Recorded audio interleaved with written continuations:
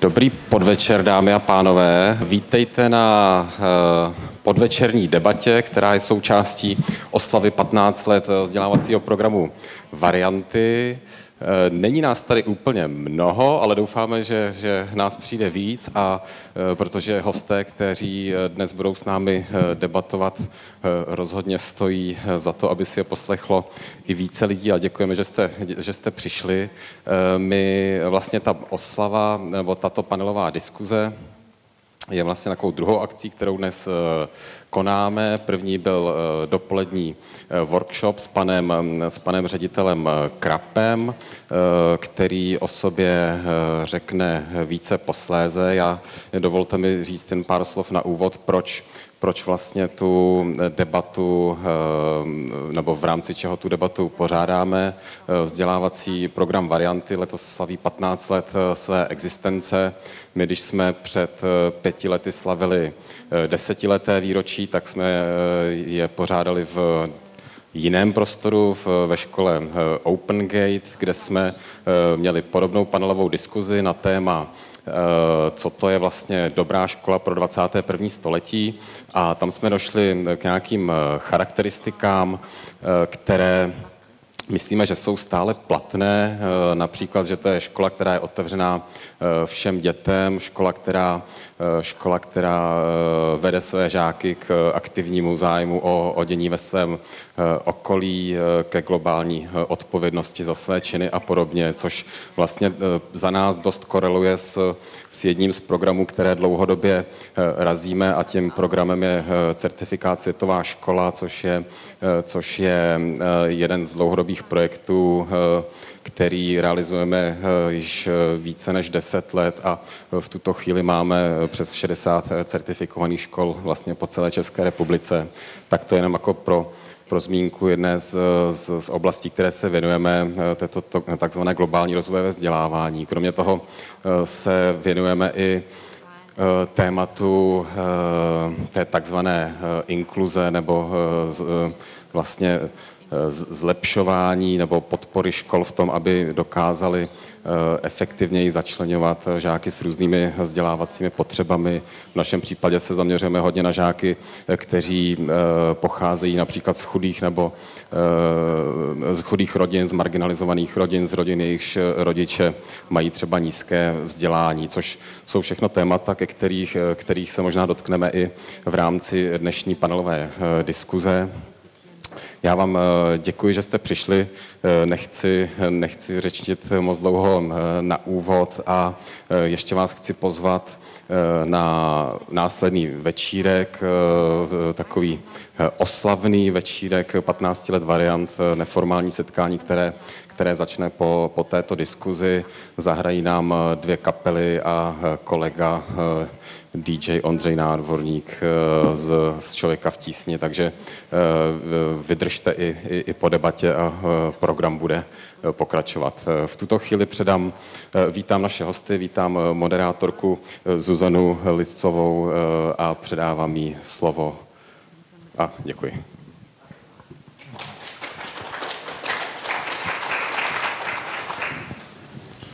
Dobrý večer, dámy a pánové. Já bych vás také ráda přivítala na dnešním diskuzním večeru. Máme velkou radost, že jste si v adventním čase, v pátečním odpoledni udělali čas na tak důležité téma, jako je vzdělávání. Tématem dnešního večera bude otázka, zda je maturita úspěchem žáků nebo jejich rodin. Budeme se na to postupně ptát našich hostů. Nejprve bych se ale představila sama. Moje jméno je Zuzana Liscová, pracuji jako novinářka a analytička Asociace pro mezinárodní otázky a budu vás dnešním večerem provázet.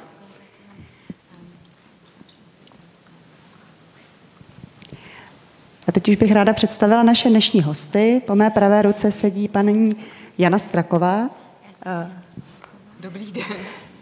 Z Ústavu eh, výzkumu a rozvoje vzdělávání Pedagogické fakulty Univerzity Karlovy. Která eh, se většinu svého profesního života zabývá realizací výzkumů mezinárodních úrovně vzdělanosti a právě třeba otázkou toho, jaký vliv má rodinné zázemí na výsledky žáků. Vedle ní sedí pan Ivo Helebrand, který k nám přijel z, který k nám přijel z Ostravy z Mezinárodního gymnázia First International School of Ostrava a který nám bude povídat, jak vlastně věci fungují v praxi. Naším zahraničním hostem pro dnešek je pan Georg Krab, který za námi přijal z Berlína, ale eh, k Praze má velký osobní vztah, protože zde přibližně 10 let žil, pracoval na německé škole Praha a také řídil eh, německo-českou bilinguální větev eh, Žižkovského gymnázia na Pražačce. Posledních 12 let působil jako ředitel gymnázia v Berlíně Neuköllnu, což je čtvrť s velkým podílem přistěhovalců. Dobrý večer. A naším posledním hostem je dneska paní Jitka Kmentová, která je ředitelkou Pražského gymnázia na Zatlance. Já bych naše hosty nejprve poprosila o krátký úvod, o to, jestli by mohli se pokusit zodpovědět tu otázku, kterou jsme v úvodu položili. To znamená otázku, zda a jaké tedy má vliv rodinné zázemí na výsledku žáků. Zda je maturita jejich úspěchem nebo úspěchem jejich rodin.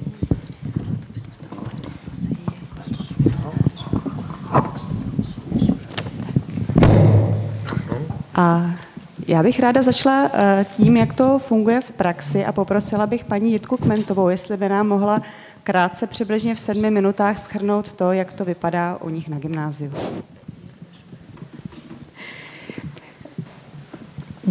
To téma není pro mě moc jednoduché, protože eh, máme spoustu dobrých nápadů, ale hodně těžko se v praxi uplatňují. Takže když jsem se snažila odpovědět na otázku, je maturita úspěch žáka nebo rodiny, tak mě napadlo, že je to jak kdy. V některých případech je to úspěch žáka a rodiny, v některých případech je to úspěch rodiny a v některých případech je to úspěch žáka. Eh, je to opravdu individuální. Já jsem ředitelkou čtyřletého gymnázia, takže eh, u nás vlastně nemáme tak široký, široký záběr uchazečů, z kterých bychom mohli vybírat děti, které již mají nějaké eh, třeba horší sociální zázemí, protože se k nám prostě vůbec nepřihlásí. U nás třeba je takový velmi význam, taková velmi významná moje zkušenost. My jsme na Smíchově, kde je poměrně dost velká romská komunita. A je tam taky základní škola, která um, se věnuje romským dětem. A my jsme se snažili tu školu kontaktovat a nabídnout žákům, že je budeme podporovat a že jsme otevřeni tomu, abychom je přijali k nám do školy.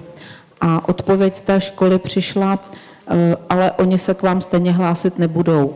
Takže jsme zrovna tohle téma třeba opustili. Eh, myslím, já nevím, nakolik mám teď rozebírat ty jednotlivé situace, možná, že se k ním potom dostaneme eh, v další diskusi.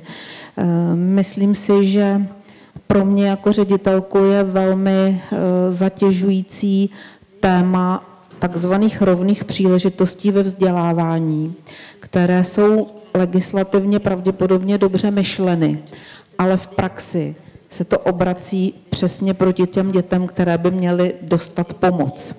Eh, má, ať se to týká stud, eh, cizinců eh, nebo dětí třeba z dětských domovů nebo i ze sociálně znevýhodněných rodin.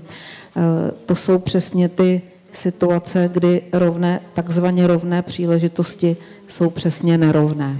Takže to je téma, kterému se věnujeme ve škole a docela těžko se s ním vyrovnáváme, protože jsme státní gymnázium a nemůžeme třeba některé děti podporovat finančně, jako to možná v některých školách je. Tak děkuji. Děkuji vám.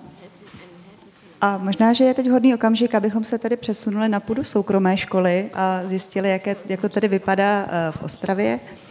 Eh, chtěla jsem se pana Helebranta zeptat, máte podobnou zkušenost? Hlásí se k vám tedy také pouze děti, které jsou z těch lépe situovaných rodin s lepším zázemím? Já bych asi souhlasil s kolegyní eh, ze Zatlanky, že eh, nejdříve ta odpověď na tu otázku, že ano, je to velice různorodé, je to vždycky úspěch částečně někoho, částečně někoho druhého. Ještě bych možná doplnil, že určitě to i úspěch školy částečně, která společně se žáky a společně s rodiči směřují k tomu cíli, kterým teda je maturita v našem případě a potom po případě vysokoškolské studium. A samozřejmě, že my jako škola, jako moderní vzdělávací instituce se snažíme aktivně jak s žáky, v druhé řadě i s rodiči velice intenzivně komunikovat, snažíme se být empatičtí a snažíme se opravdu poznávat i to zázemí těch studentů, protože eh, někdy vy vidíte často jenom tu špičku toho ledovce ve škole a někdy nevíte mnohdy, co je pod tou, pod tou hladinou, proč ten žák se chová takhle, nebo proč zrovna v tomto období mu to nejde. A máme v tom asi výhodu, že nemáme tolik žáků jako, jako státní gymnázia, máme nastavený limit 20 studentů ve třídě, celkem je na našem gymnáziu, které je teda osmileté a čtyřleté, 145 žáků v současnosti, to znamená v každém, v každém ročníku máme jednu třídu a v tom je to asi jednodušší, že opravdu, že opravdu ty žáky známe, známe všechny. Já osobně, i když je všechny neučím, tak je znám. Z mnoha rodičí se stýkáváme a dovedeme trošičku teda proniknout do hlubin té studákovi duše takto a mnohdy to teda pomůže vyřešit nějaké ty problémy. Co se týká teda té různorodosti přijatých uchazečů nebo toho našeho portfolia žáků, když to tak řeknu, tak je to různorodé a jsou to, jsou to děti z různých rodin, z různých sociálních vrstev, a i když možná máme trošičku volnější ruce v některých věcech, tak přesto úplně, úplně stejná situace. Někteří lidé se prostě k nám hlásit nechtějí a nebudou a opravdu u nás studují žáci, eh, kteří chtějí studovat na gymnáziu, chtějí typ vzdělávání, který my nabízíme a kteří prostě mají chuť. Takže my samozřejmě jsme otevření vůči všemu a vůči komukoli, jsme připraveni pomoci, máme různé prostředky a myslíme si, že bychom takové výzvě dokázali čelit ale prostě děje se to zatím v takové minimální míře, že jsou to spíše individuální případy, s kterými teda si poradíme a které nějak postupně dovedeme tam, kam chceme. A zrovna právě tento týden jsem dořešil záležitost našeho prvního oficiálního asistenta pedagoga pro handicapovanou dívenku ve třetím ročníku. A musím teda tady podpořit, že někdy to možná je takové pro tu školu velice zatěžující s tím letím se prokousávat, protože to trošku mě stálo nervy a papírové byrokracie s krajem. A nakonec, když teda asistenta pedagoga přijmete na poloviční úvazek, tak on dostane takové srandovní penízky, když to řeknu, tak nevím, jak ti lidé jsou motivováni v tom potom pokračovat, ale ten elán, píle a možná entuziasmus těch lidí to jakoby doposud přebíjí a takhle je to zatím asi s učiteli. Takže to možná na úvod z mé strany, jako z pohledu i trošku soukromého školství na druhé straně republiky teda. Dobře, děkuji vám. Chtěla jsem se zeptat, paní Straková, vaším eh, polem působnosti je statistika. Odpovídá to, co jsme tady zaslechli jako příklad z praxe eh, těm velkým číslům? Je Česká republika na tom jinak v mezinárodním srovnání než jiné země? Hrají tady rodiny větší roli v tom, jestli dítě bude ve vzdělávání úspěšné nebo ne? Česká republika, eh, stejně jako vlastně ostatní vzdělávací systémy, eh, je na tom tak, že samozřejmě eh, dosažené vzdělání závisí na rodinném zázemí, to znamená děti z motivovaných, lépe situovaných rodin mají větší šanci, že teda toho maturitního vzdělávání dosáhnou. Ten rozdíl mezi těmi vzdělávacími systémy je v tom, jak velké jsou vlastně rozdíly v šancích těch dětí, které pocházejí z lepšího rodinného zázemí, z horšího rodinného zázemí. A tady můžeme říci, že Česká republika je zemí s velmi silnou závislostí eh, dosaženého vzdělávání na výsledcích vzdělávání. Eh, to, co je špatné, je, že se vlastně ty šance eh, těch dětí mm, na maturitní vzdělávání těch dětí z méně podnětného rodinného zázemí, jak se relativně snižují a tou druhou vlastně znevýhodněnou skupinou v přístupu k maturitnímu vzdělávání jsou chlapci. A my tedy pozorujeme, že se zvyšují vlastně v posledních letech rozdíly vlastně ve výbavě, kterou eh, dostávají děti v maturitních a nematuritních oborech A to, co je vlastně paradoxní, je, že my to v České republice vlastně velmi obtížně sledujeme, protože e, tvůrci vzdělávací politiky vlastně systematicky nemonitorují e, tu, ty rozdíly v té výbavě dětí v těch maturitních a nematuritních oborech. Takže ty poznatky, které máme, máme pouze z mezinárodních výzkumů, z mezinárodních výzkumů dospělých a tam jsou ty poznatky jaksi limitované tím, že ty výzkumy probíhají jednou za deset let. To, co mě připadá vlastně eh, hodně důležité je, eh, jakým způsobem eh, se podílí vlastně na té věci ten systém. U nás je hodně zakořeněná představa, že je třeba děti rozdělovat, abychom je mohli efektivně vzdělávat. Ale ten problém je v tom, že to rozhodování vlastně o té kariéře je výlučně vlastně z odpovědností té rodiny. Ta škola ty děti žádným způsobem nemotivuje, ti rodiče sami dělají to rozhodnutí, jestli to dítě budou hlásit do maturitního oboru nebo ho nebudou hlásit do maturitního oboru. A v posledních letech my se vlastně setkáváme s tím, že zaměstnavatelé ehm, velmi vlastně volají potom, aby se zvýšil podíl žáků v nematuritních oborech. Eh, a tvůrci vzdělávací politiky jim všemožně vycházejí vstříc. Eh, v roce 2011 až 2015 jsme měli eh, v hlavním strategickém dokumentu v České republice v dlouhodobém záměru rozvoje vzdělávání vlastně cíl omezit přístup dětí k maturitnímu vzdělávání explicite, což je vlastně v mezinárodním kontextu poměrně paradoxní záležitost. A v letošním roce jsme vlastně zavedli přijímací zkoušky do maturitních oborů oboru. A to je věc, která je velmi kontroverzní a myslím, že je tomu věnována velmi malá pozornost, protože e, ty zkoušky do maturitních oborů vlastně způsobí, že ty děti, které už jsou znevýhodněny tím, že rodiče nehlásí do toho e, maturitního studia, tak budou znevýhodněny tím, že se jim ty základní školy budou v těch vyšších ročnících povinného vzdělávání méně věnovat, protože oni se budou soustředovat na ty děti, které budou ty přijímací zkoušky skládat, protože se budou obávat, že budou na základě úspěšnosti těch dětí v přijímacích zkouškách porovnávány. Takže tohle to mně připadá jako veliký problém a obecně vnímám jako ostudné, že se vlastně Eh, ta vzdělávací politika, která by se měla vlastně snažit motivovat všechny děti k co nejvyššímu vzdělání, tak se vlastně přizpůsobuje těm požadavkům zaměstnavatelů eh, a eh, snaží se vlastně ty děti nasměrovat do těch učebních oborů i s tím, že my máme řadu dokladů o tom, že to nematuritní vzdělání je pro ty děti nevýhodné, protože jsou špatně připraveny v řadě oblastí a tím specifikem toho českého vzdělávacího systému je také to, že ty obory se od sebe velice liší. To znamená, to vzdělání, které se dostává dětem v maturitních oborech a to vzdělání, které se jim dostává v těch nematuritních oborech, je, je opravdu velmi odlišné, takže ta výbava těch dětí je velmi odlišná. A mně připadá opravdu jak, jaksi velmi závažné, že místo, abychom se snažili co nejlépe vybavit všechny děti, tak se vlastně snažíme je nasměrovat v rámci toho stávajícího systému. Nepřemýšlíme o tom, co udělat lépe, ale jak vlastně v tom stávajícím systému co největší podíl dětí vlastně nasměrovat do těch nematuritních oborů, u kterých víme, že pro ty děti nejsou výhodné. Dobře, děkuji vám. Chtěla jsem se zeptat vás, pane Krape, eh, vy máte velké zkušenosti z praxe. Eh, za posledních 12 let jste působil na gymnáziu, eh, které dlouho bylo školou, která nebyla příliš úspěšná.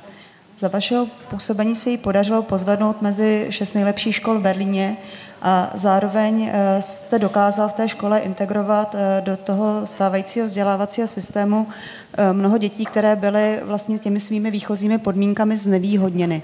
Mohl byste nám krátce říci, jakým způsobem jste na to šel? Co jsou ty recepty na úspěch v tomto směru?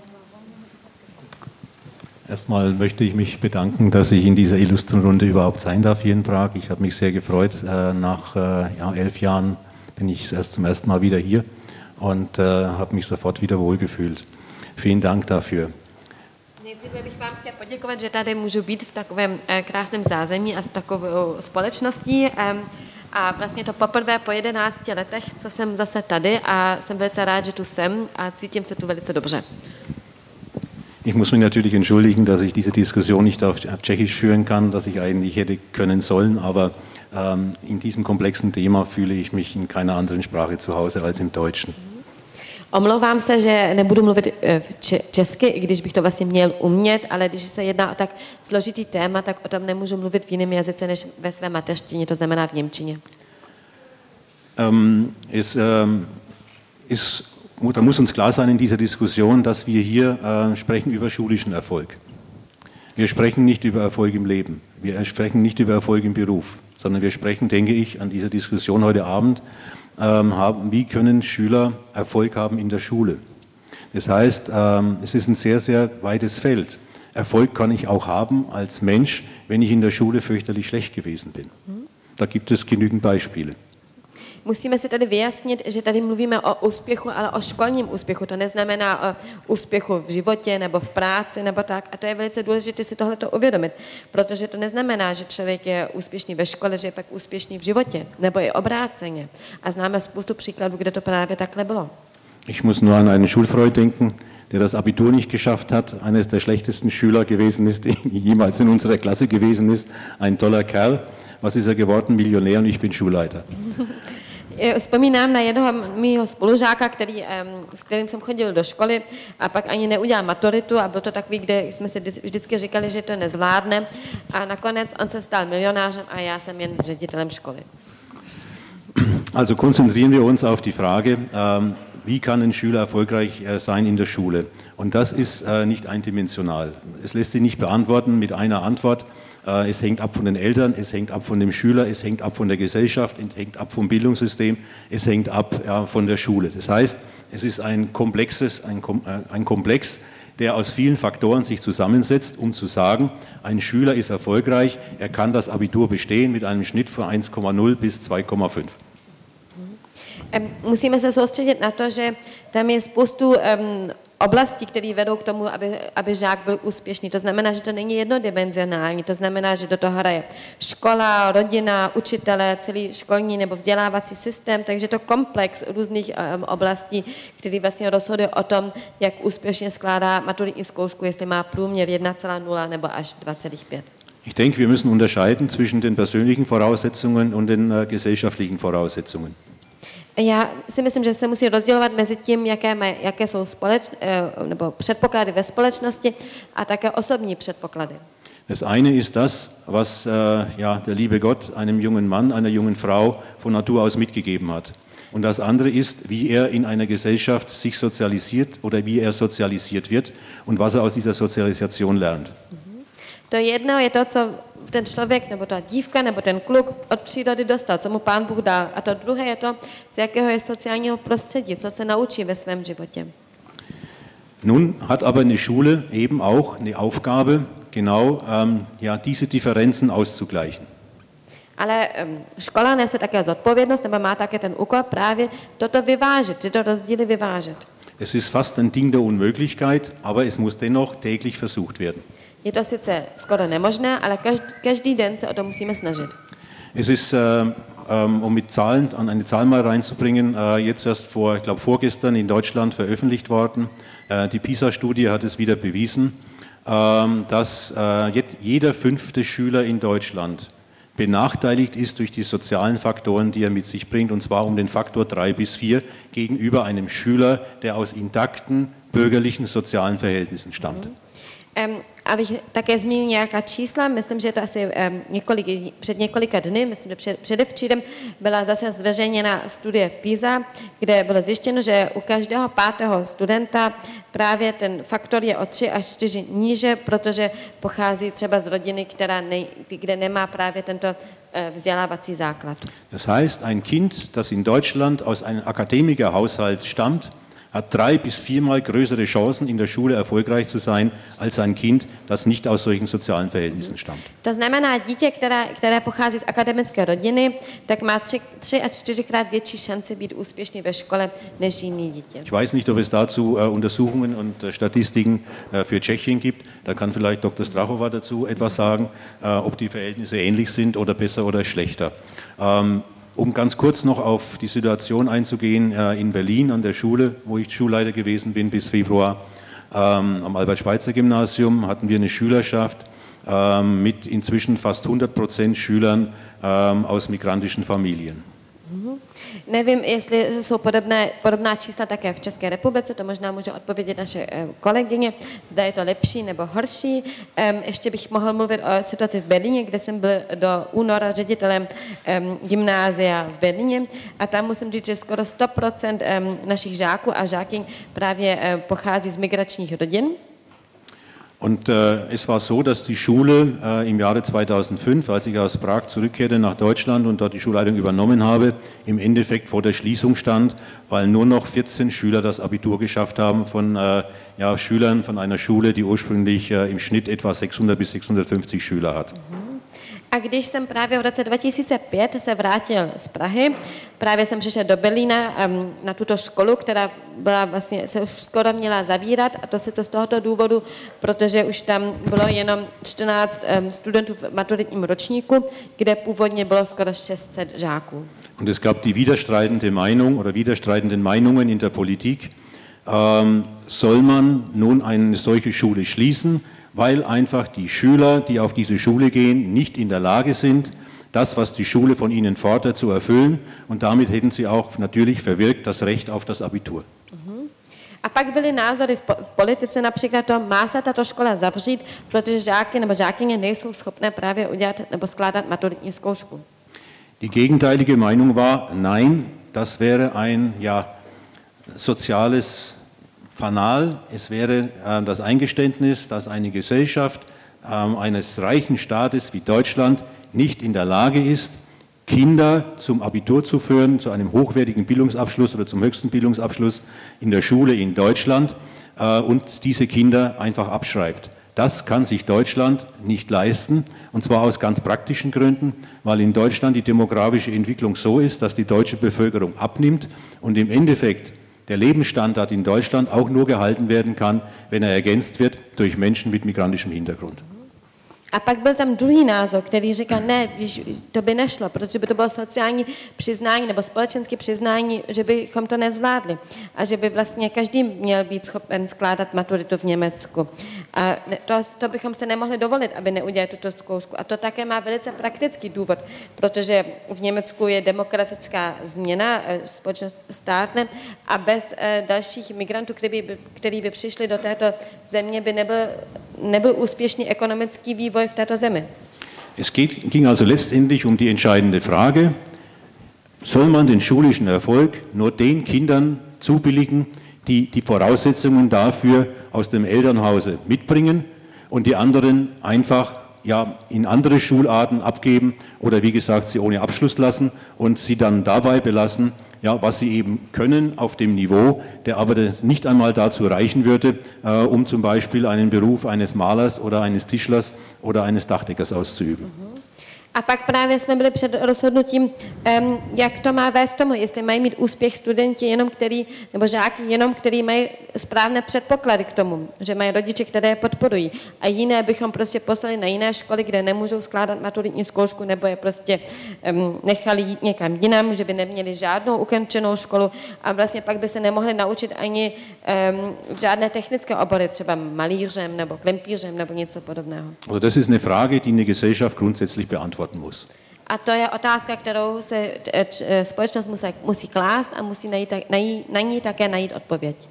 Man hat sich im Falle des Albert-Schweitzer-Gymnasiums äh, dafür entschieden, die Schule nicht zu schließen, sondern ja, äh, einen Neubeginn zu starten, äh, den ich dann zu verantworten hatte, aber darüber können wir vielleicht im Rahmen der Diskussion noch sprechen. Mhm.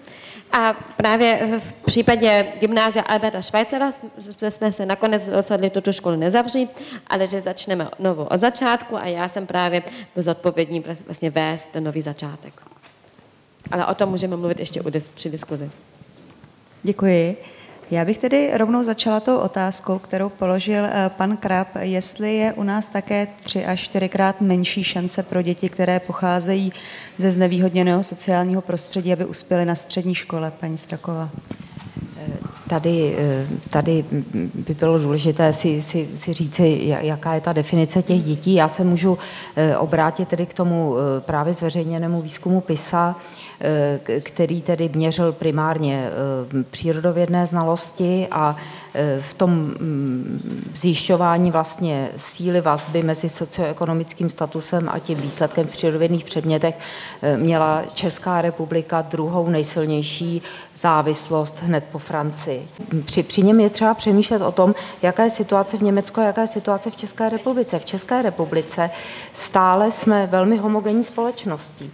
Zatímco Německo má vysoký podíl přistěhovalců, Česká republika má zhruba 4,5 eh, cizinců, z toho polovina jsou Slováci. A pak máme tedy eh, romskou eh, minoritu, která činí zhruba 1,5% a e, Česká republika není schopná vůbec se postarat o tuhletu, o tuhletu minoritu. Pan ředitel mluvil o tom, jak oni přemýšleli o budoucnosti vlastně svých přistěhovalců, kteří by potom ne- nemohli e, studovat ve středních školách, nemohli by vykonávat žádné povolání. A my jsme v situaci, kdy drtivá většina romských žáků není schopna vystudovat ani ten nematuritní obor. Děkuji vám. Já bych se zeptala paní Kmentové, vy jste zmiňovala, že vaše škola je ve čtvrti, kde žije poměrně hodně Romů a říkala jste, že také z vaší strany byla vůle je přesvědčit, aby na vaši školu přišli a do toho studia se zapojili. Jaké jsou hlavní důvody pro to, že se to neděje a co by případně mohl udělat stát pro to, aby se tak stalo? Jaké jsou hlavní důvody, teda nevím, protože jsem se tomu nevěnovala. Nicméně myslím, že e, je to tak, že tu ty rodiny vlastně ani nenapadne k nám ty děti dávat. To mm, možná je pro nás nějaký podnět, že bychom třeba měli se nějak víc angažovat v tom náboru, což je pravda, že jsme nikdy neudělali, e, ale očekávala bych, že spíš ta základní škola, která zná situaci těch svých žáků, třeba s námi vstoupí do rozhovoru, jak bychom těm dětem mohli pomoci, co bychom pro ně společně mohli udělat. Ale to se neděje, takže to je jako mezi námi školami. Co se týče státu,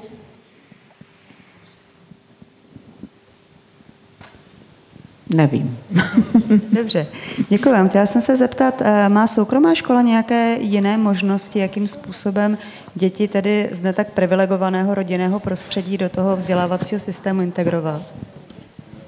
Já bych řekl, že my to máme úplně stejně. My jsme sice soukromá škola, ale státem máme dané úplně stejné podmínky a snažíme se k tomu přizpůsobit ty naše možnosti.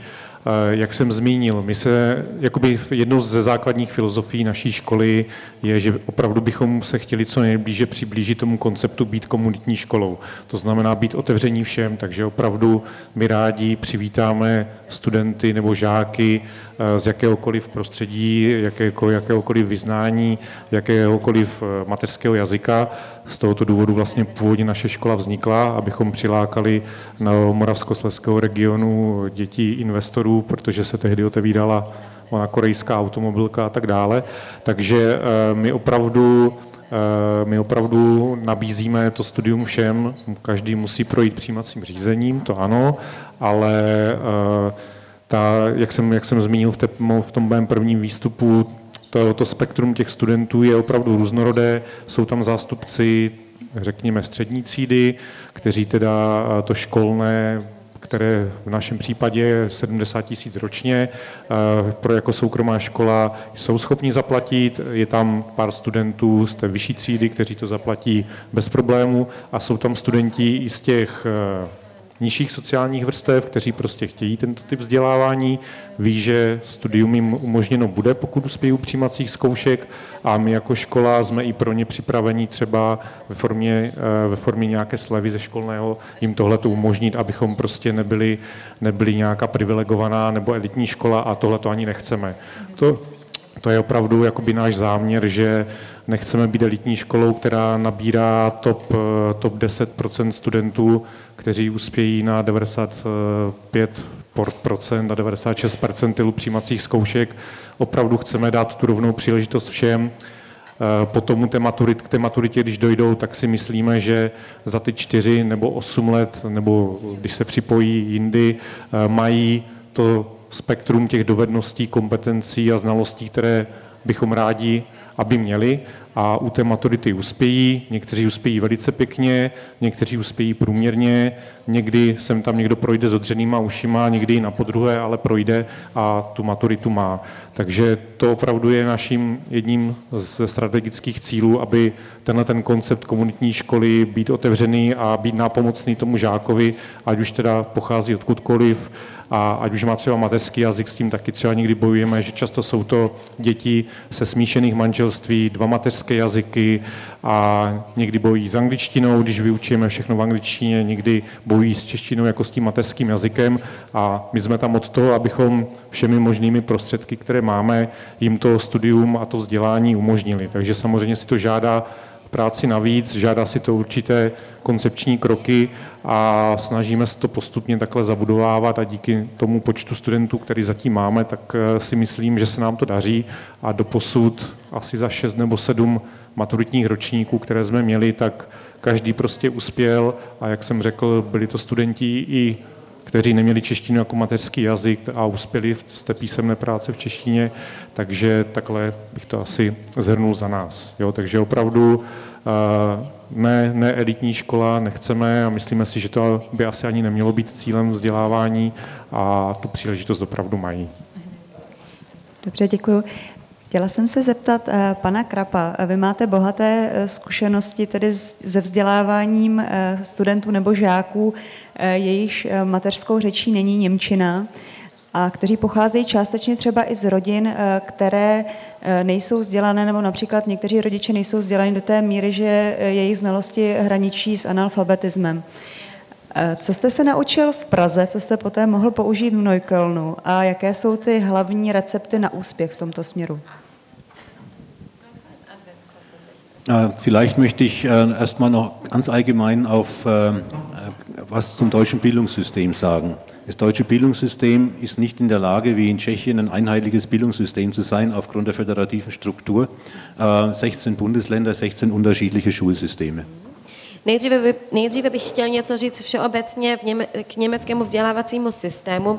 Eh, my vlastně v Německu nemůžeme mít jednotný vzdělávací systém, jak je to v České republice, protože máme 16 spolkových zemích a každý, každá spolková země má svůj školní systém nebo vzdělávací systém. Ich bin selbst in Bayern groß geworden äh, und habe auch in Bayern meine ersten schulischen Erfahrungen als Lehrer gemacht und äh, äh, als ich dann über Prag nach Berlin kam, ähm, wurde mir immer klarer, aber das auch schon im Auslandsschuldienst, weil man da eben mit äh, Kollegen aus äh, den unterschiedlichsten Bundesländern im Kollegium zusammenarbeitet, äh, dass die Ansätze in diesem Bereich sehr, sehr unterschiedlich sind in den Bundes einzelnen Bundesländern. Das Einzige, was die Bundesländer im Schulsystem eint und auch Gott sei Dank einen muss, ist, dass äh, es einheitliche Prüfungsanforderungen gibt, was die Prüfungen angeht, zum mittleren Schulabschluss und zum Abitur. Das heißt, der Weg dorthin ist aber sehr, sehr unterschiedlich. Und deswegen kommen in den einzelnen Bundesländern auch sehr unterschiedliche Ergebnisse zustande.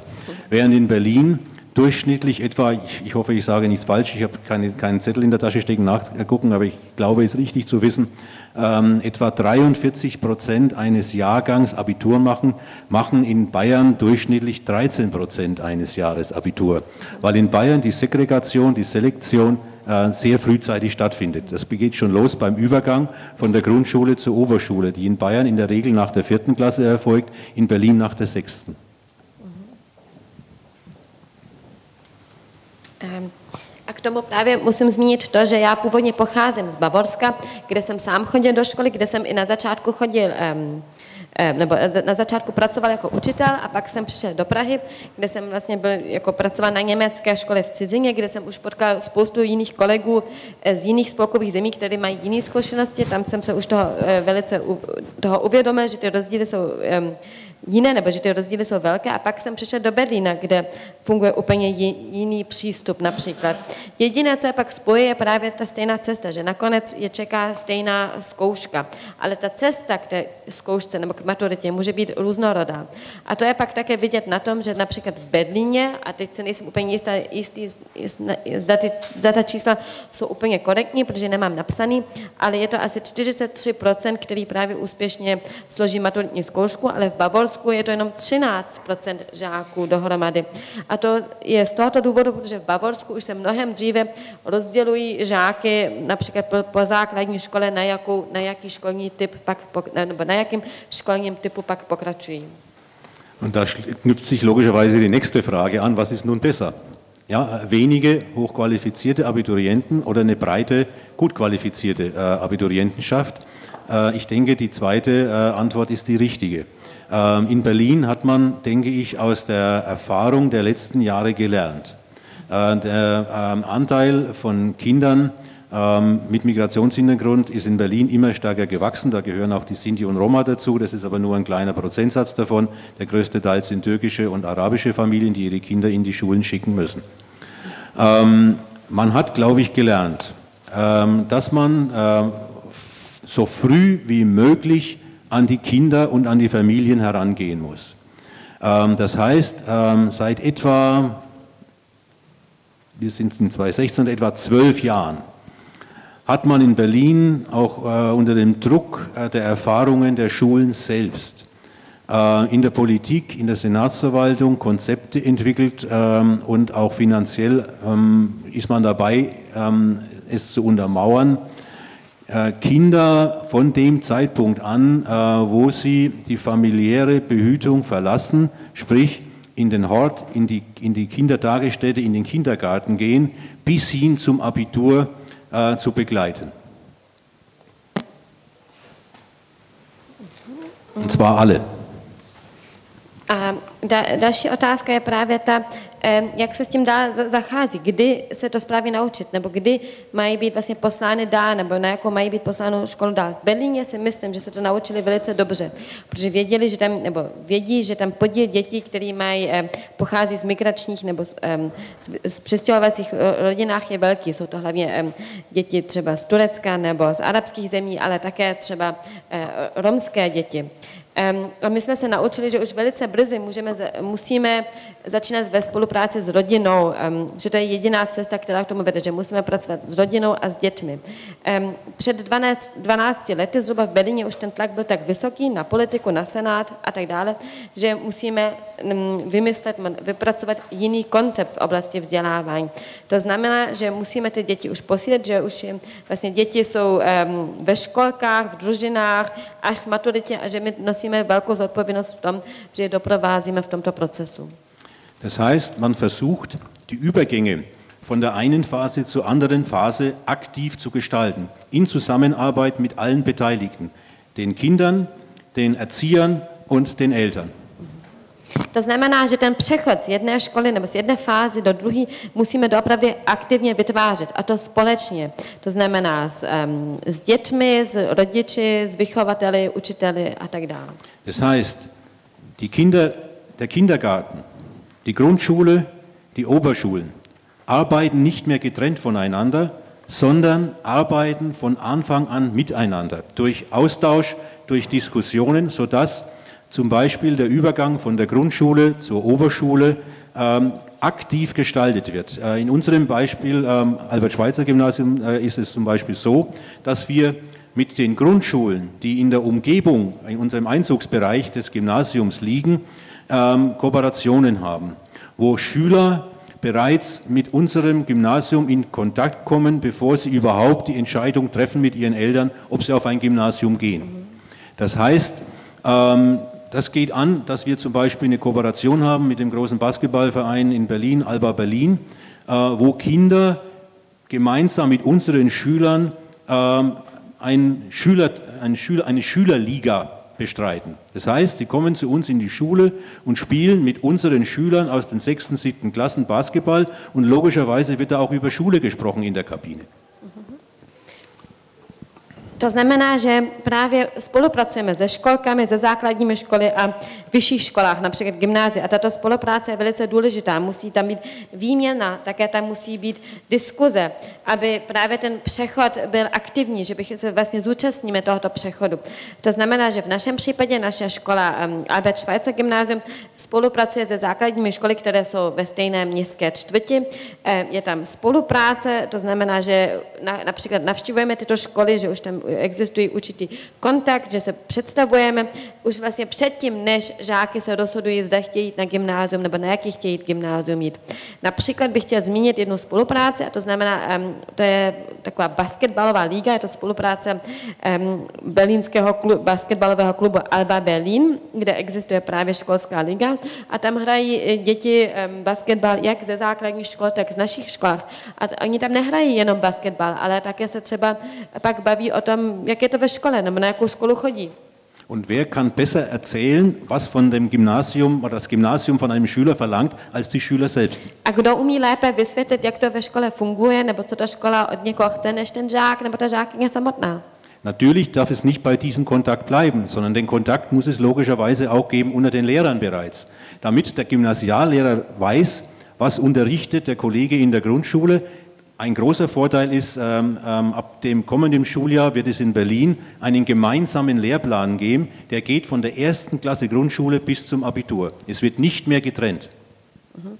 Ale samozřejmě toto nestačí, aby se jenom ty žáky nebo mm, děti mezi sebou bavili, ale také tam musí být kontakt mezi učiteli, učiteli základních škol a gymnázií, také aby byli informovány o tom, co už se učili, co se ještě neučili a v tom je velice dobré, že teď bude změna v Berlíně, že bude existovat vzdělávací plán od první třídě až k maturitě. Das heißt, das ist ein ganz wichtiger Prozess, dass Kinder, bevor sie überhaupt in die Schule kommen, bereits Kontakt haben zur Schule und bevor sie von der Grundschule in die Oberschule gehen, wiederum bereits Kontakt haben zur Oberschule. Und das kann man in vielfältiger Weise gestalten. Wir haben zum Beispiel auch ähm, ein Jahr vorher äh, Schnuppertage äh, für Schüler aus den Grundschulen. Das heißt, sie kommen bei uns für drei oder vier Tage und begleiten die äh, Sechsklässer im ersten Schuljahr an der Oberschule äh, mehrere Tage im Unterricht. Sie sehen, wie der Unterricht abläuft, äh, was dort in welchem Tempo ähm, erledigt wird und wie gearbeitet wird. Ähm, Sie sehen, wo Schwerpunkte der Schulen liegen. Ob die einen eher im naturwissenschaftlichen Bereich sich angesiedelt sind, andere eher im musischen Bereich, andere eher im sprachlichen Bereich. Das heißt, es ist ganz wichtig, diese Informationen frühzeitig an die Kinder und deren Eltern zu vermitteln und, wie gesagt, den Austausch zwischen den Lehrkräften herzustellen, um auch über Schüler zu sprechen, die fürs Gymnasium tauglich sind, beziehungsweise an der Grenze stehen und wo eventuell Fördermöglichkeiten einsetzen müssen, damit der Schüler den Sprung schafft, bis dann letztendlich äh, als Wunschziel zum Abitur. Natürlich wird das nicht bei allen gelingen, aber es gelingt bei mehreren, bei mehr Schülern, als es in der Vergangenheit gewesen ist. Mhm. To znamená, že tam je velice důležitý proces co se koná, že vlastně než půjdou do té školy, tak u té, o té škole třeba vědí, nebo ten kontakt, než se rozhodnou, že půjdou na gymnázium nebo na vyšší školu, tak už tam musí být, že už je o tom informáno. A například na naší škole existuje takový projekt, to znamená, že vlastně můžou přijít na naší eh, školu jakoby na zkušenou, přijdou tam na tři nebo čtyři dny, ještě to jsou vlastně eh, žáky základních škol a přijdou třeba do pátý nebo šestý třídy a podívají se na to, jak to vlastně v té škole vypadá, v jakém tempu se tam učí, na čem pracují, třeba také vidí na to, eh, nebo dívají se, nebo poznávají i, na, i to, na co se ta škola soustředuje, například jestli se soustředují na přírodovědné předměty, na hudební předměty nebo na jazyky. Um, a vlastně to je velice důležité, aby ty informace byly předány dál. A právě tyto informace mají být předány dál i mezi učiteli, aby učiteli třeba věděli, jak na tom ten žák nebo ta žákyně je, jestli je můžeme opravdu doporučit na gymnázium nebo zda ne, nebo zda třeba je ještě důležitá nějaká podpora, aby se třeba na to gymnázium dostali. A to je velice důležité. Es gibt die Möglichkeit, ähm, Schülerbotschafter zu haben. Das heißt, wir haben auch das, dass äh, Schüler aus den Neuköllner Grundschulen besuchen alle sechs Neuköllner Gymnasien. Ähm, äh, haben einen Fragenkatalog an die Schulleitung ähm, erarbeitet, an, an, das Kollegium, an alle, an, in allen möglichen Bereichen. Ähm, sie besuchen die Schulen immer so in kleinen Gruppen zu fünf, zu sechs. Ja, ähm, führen dort Interviews, Gespräche, beobachten den Unterricht, gehen dann zurück in ihre Grundschulen und berichten, was sie in der jeweiligen Schule erfahren haben und wie ihre Eindrücke gewesen sind. Ähm, sodass die Schüler beim Übergang von der Grundschule aufs Gymnasium auch eine Beratung durch ihre eigenen Mitschüler haben, wie das Albert-Schweitzer-Gymnasium, wie das Albert-Einstein-Gymnasium, ja, wie die Ernst-Abbe-Schule und so weiter aufgestellt sind. A také například v Berlíně existuje něco, že mají základní školy takzvaný vyslance, který právě jdou pak na, ty, na ta gymnázia, jich třeba pět nebo šest a navštívují to gymnázium a mají připravený už vlastně celý katalog otázek, otázek pro ředitele škol, pro učitele, a dívají se na tu výuku, jsou tam pak pár dní a dívají se na to, dělají s námi rozhovory a pak se vrátí zpátky na jejich základní školy a sdělí své dojmy, dojmy, které na této škole nebo na těch školách získali. A pak právě můžou svým um, spolužákům říct, jak je to třeba na gymnáziu Alberta, um, Alberta Einsteina, Alberta Schweitzera nebo na, třeba i na jiných školách.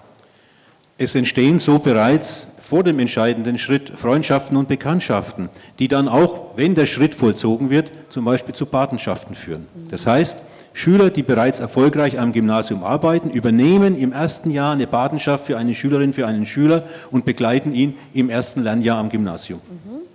A pak takhle už vzniknou třeba eh, vzniknou známosti nebo i přátelství, nebo může vzniknout i určitý partnerství. To znamená, že žáky, které pak jsou už již eh, ve vyšším ročníku, tak se třeba pak starají o jednoho studenta nebo žáka, který zrovna přijde nově na tu školu a doprovází ho.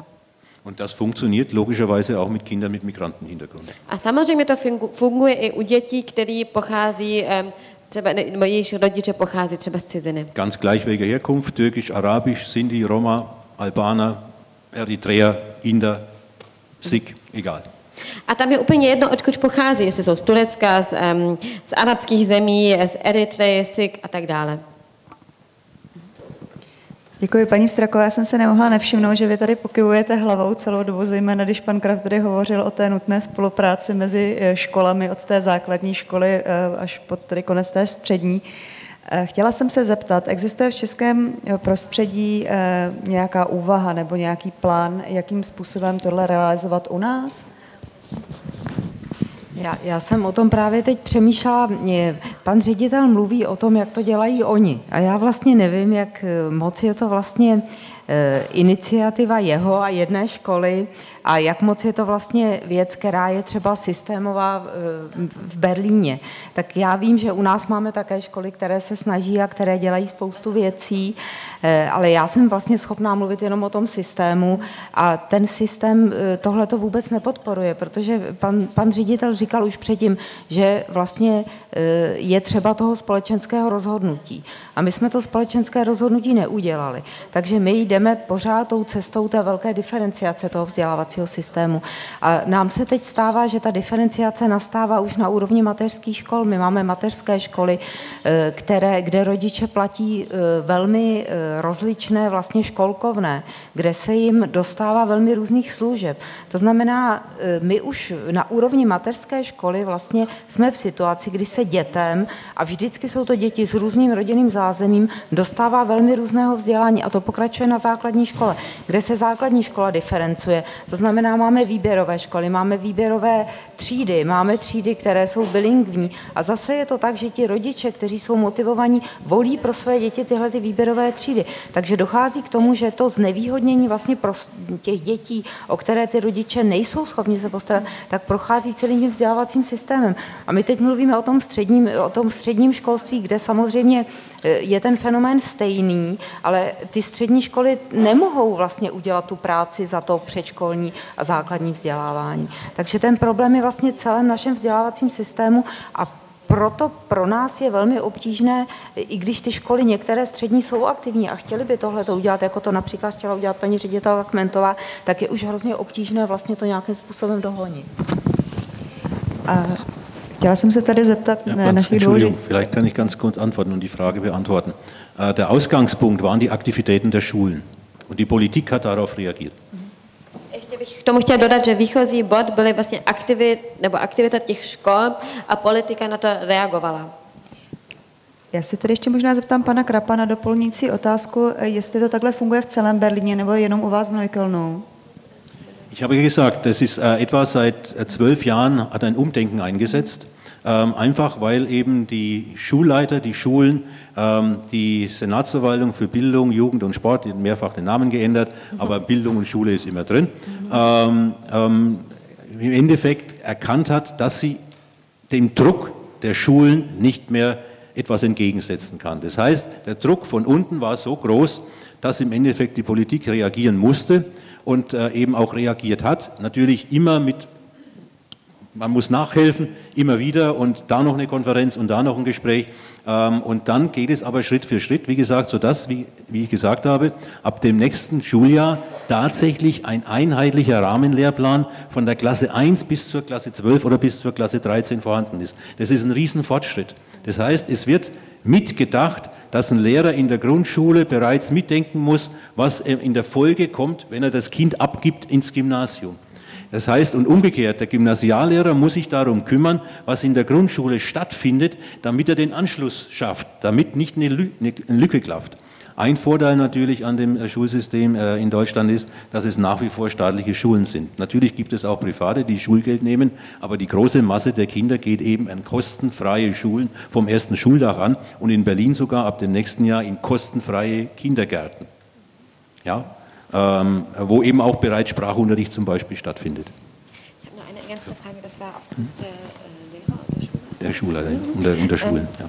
Vlastně k té velké změně právě došlo po 12 letech, kdy ten tlak ze strany ředitelů a, a učitelů už byl tak vysoký, právě tlak na e, úřad nebo pro část Senátu pro vzdělávání a a školství, několikrát se zmínil ten název, ale právě ta společnost nebo politika poznala, že ten tlak je velice vysoký, velice silný. A právě pak na, vlastně bylo spoustu diskuzí, spoustu konferencí, kde se o tom mluvilo. A právě jeden z těch úspěchů je to, co jsem již zmínil, že od roku 2017 je jednotný vzdělávací plán, který je propojený od první třídy až do 12 nebo 13 třídy, která může být velice úspěch, nebo bude velice úspěšná. To je vlastně i re, politická reakce na tyto změny, že právě učitel um, základní školy už bude přesně vědět, na co ten žák nebo ta žákyně musí být připravena, když, nebo připravený, když půjde na gymnázium. A také obráceně, že učitel na gymnáziu už ví, kde musí pokračovat, kde, aby tam nebyla nějaká vzdělávací mez, vzdělá, mezera ve vzdělání a byli na to připravení. Samozřejmě eh, v Německu nebo v Berlíně je to tak, že většina škol je státních škol, to, to se všechno koná na státních školách, což si myslíme, že je výhoda samozřejmě také, ale existují i soukromé školy. Paní Kmentová, chtěla jsem se zeptat, eh, vy jste hovořila o té vaší eh, soukromé iniciativě navázat kooperaci tedy ze na Smíchově. Slyšela jste od svých kolegů, ředitelů jiných gymnází, že by se o něco podobného pokoušeli, například v jiných pražských čtvrtích nebo v jiných českých městech a že by v tom byli úspěšní? Já myslím, že eh, spolupráce se základními školami jde trošku jiným směrem. Že potvrzuju to, co říká Jana Straková, že pořád tam není ten zájem společnosti, aby všechny děti měly opravdu stejnou příležitost. Že to zůstává jenom v legislativě popsáno. Takže určitě existují nějaké další školy. Já se přiznám, že my u nás ve škole se spíš snažíme podávat pomocnou ruku těm dětem, které už tam máme a u kterých vidíme, že to potřebují. O tom, myslím, mluvil i pan ředitel. E, takže příklad.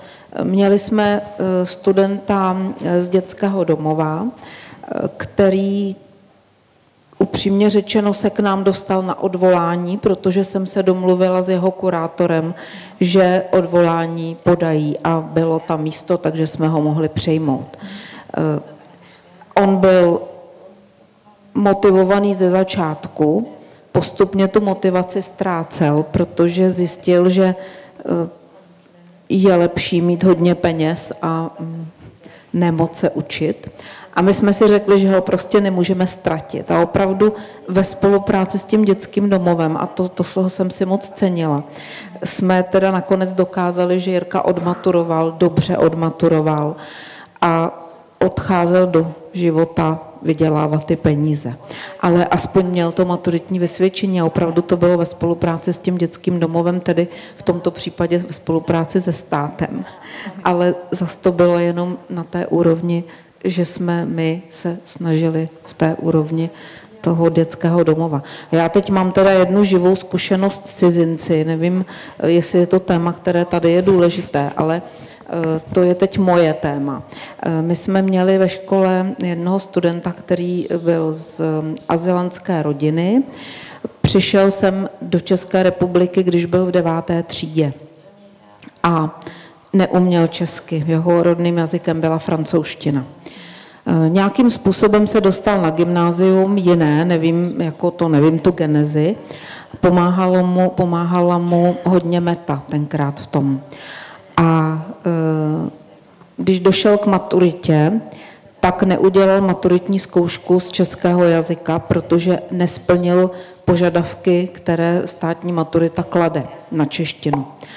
Takže nakonec opakoval ročník u nás, čtvrtý, a my jsme se rozhodli, že mu pomůžeme a opravdu kolegyně češtinářky dvě se mu věnovali. Máme kroužek eh, češtiny pro cizince, kdy teda podporujeme ty děti a tedy a tedy. Eh, už po dvakrát nesložil didaktický test o dva body.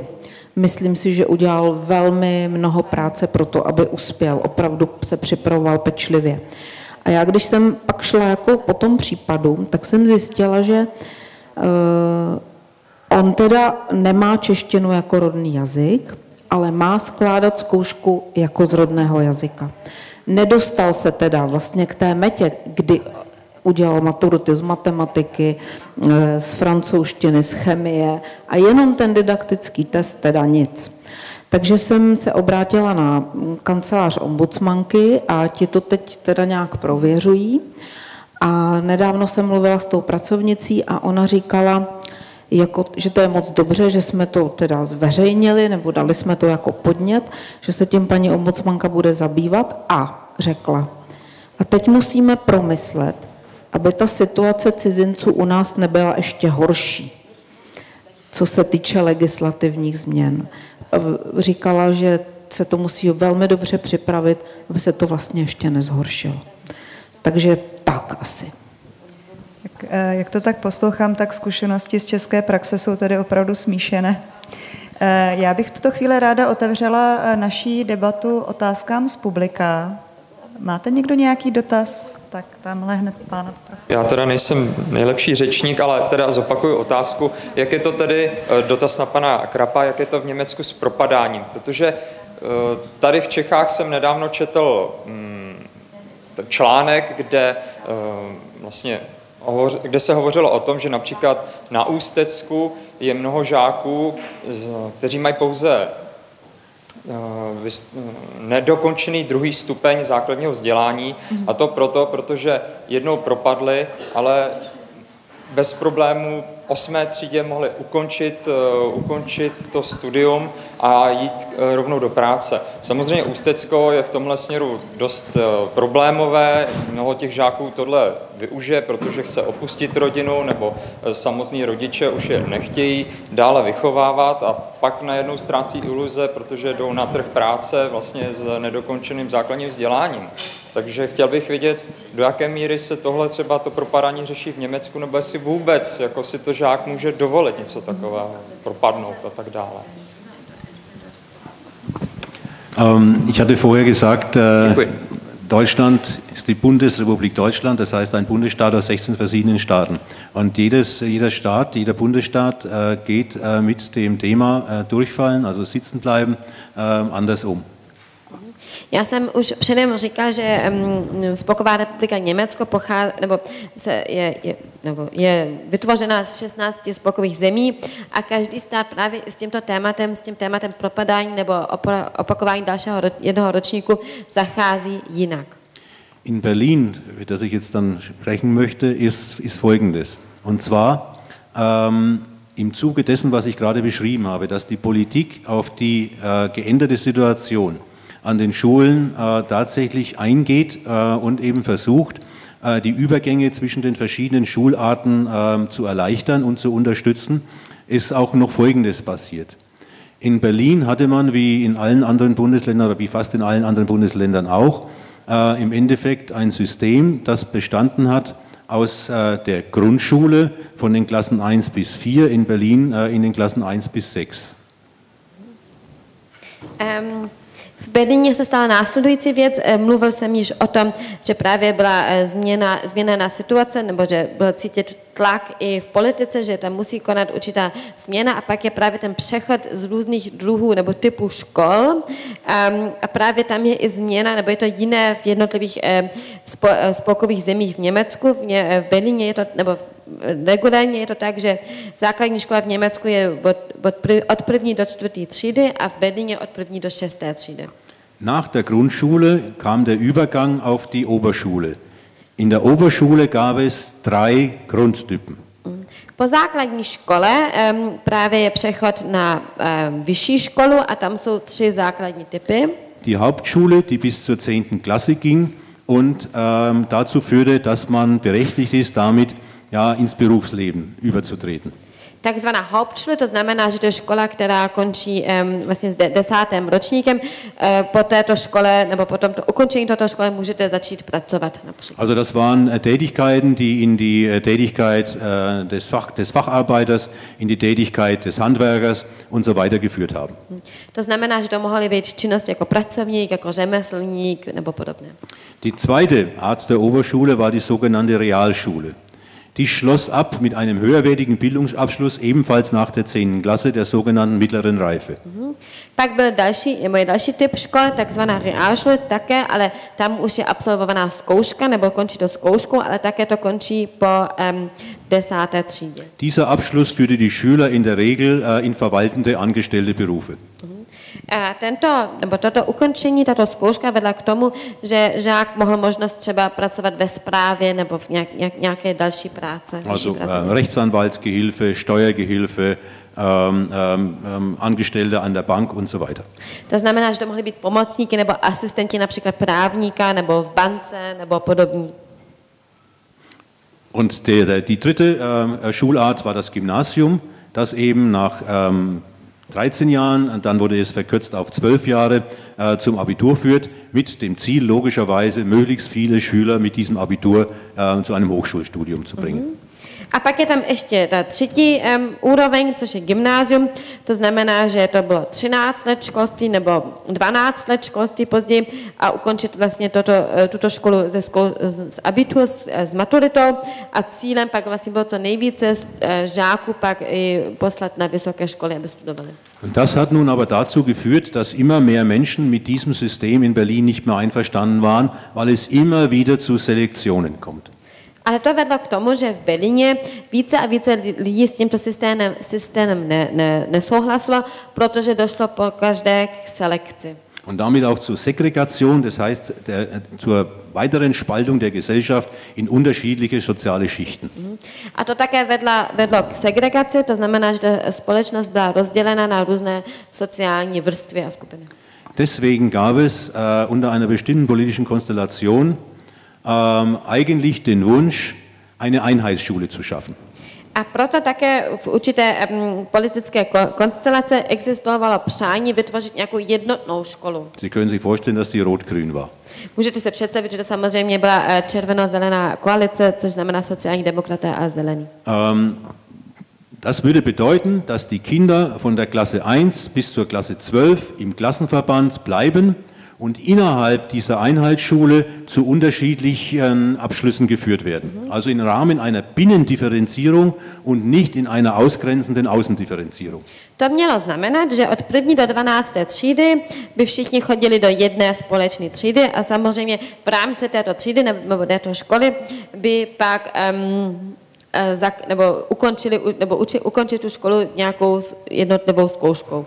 Jednotnou zkouškou. Das hat aber bei bestimmten Eltern oder bei vielen Eltern ähm, ja, die Reaktion ausgelöst, das wollen wir nicht. Wir wollen keinen Einheitsbrei. Ale spoustu re- rodičů na to reagovalo samozřejmě tak, že toto nechtí, že nechtí, aby to byla jedna velká kaše. In Hamburg äh, war dieser Versuch gescheitert. Und zwar durch ein Referendum, äh, das die Eltern mit Nein beantwortet hatten. V Hamburgu um, tento poky- pokus existoval, ale nebyl úspěšný, protože bylo referendum a v referendu rodiče hlasovali ne. Und äh, insofern kam es auch in Berlin zu einer veränderten politischen Konstellation, die nun aus Rot-Schwarz bestand. A tak vlastně také v, v Německu, nebo v Berlíně došlo eh, k jiné politické konstelaci, která byla koalice sociálních demokratů a um, konzervativců CDU. Ähm, und man hat sich aber trotzdem an der Idee irgendwo festgehalten. Und man hat dann 2004 einen Kompromiss gefunden, der bis heute gilt und auch die nächsten Jahre Gültigkeit haben wird, davon bin ich überzeugt. Ale pořád se chytli, nebo chytali dále této myšlenky a v roce 2004 došli k kompromisu, který eh, existuje a který bude ještě existovat nadále, o tom jsem přesvědčen. Das heißt, man hat die Dreigliedrigkeit des Schulsystems in der Oberschule abgeschafft. To znamená, že právě bylo zrušeno, byly zrušeny ty tři vrstvy v školním systému und hat gesagt, alle Schüler, die in eine Oberschule gehen, müssen die Möglichkeit haben, das Abitur zu machen. a bylo rozhodnuto, že všichni, žá, všichni žáky, kteří chodí do jedné vyšší školy, musí uh, ukončit tuto školu maturitou. Aber wir bieten zwei Möglichkeiten. Ale nabídeme dvě možnosti. Eine Gruppe macht das Abitur nach insgesamt 13 Schuljahren Jedna skupina tu maturitu udělá po uh, celkově 13 školních let und die andere Gruppe macht das Abitur nach 12 Jahren.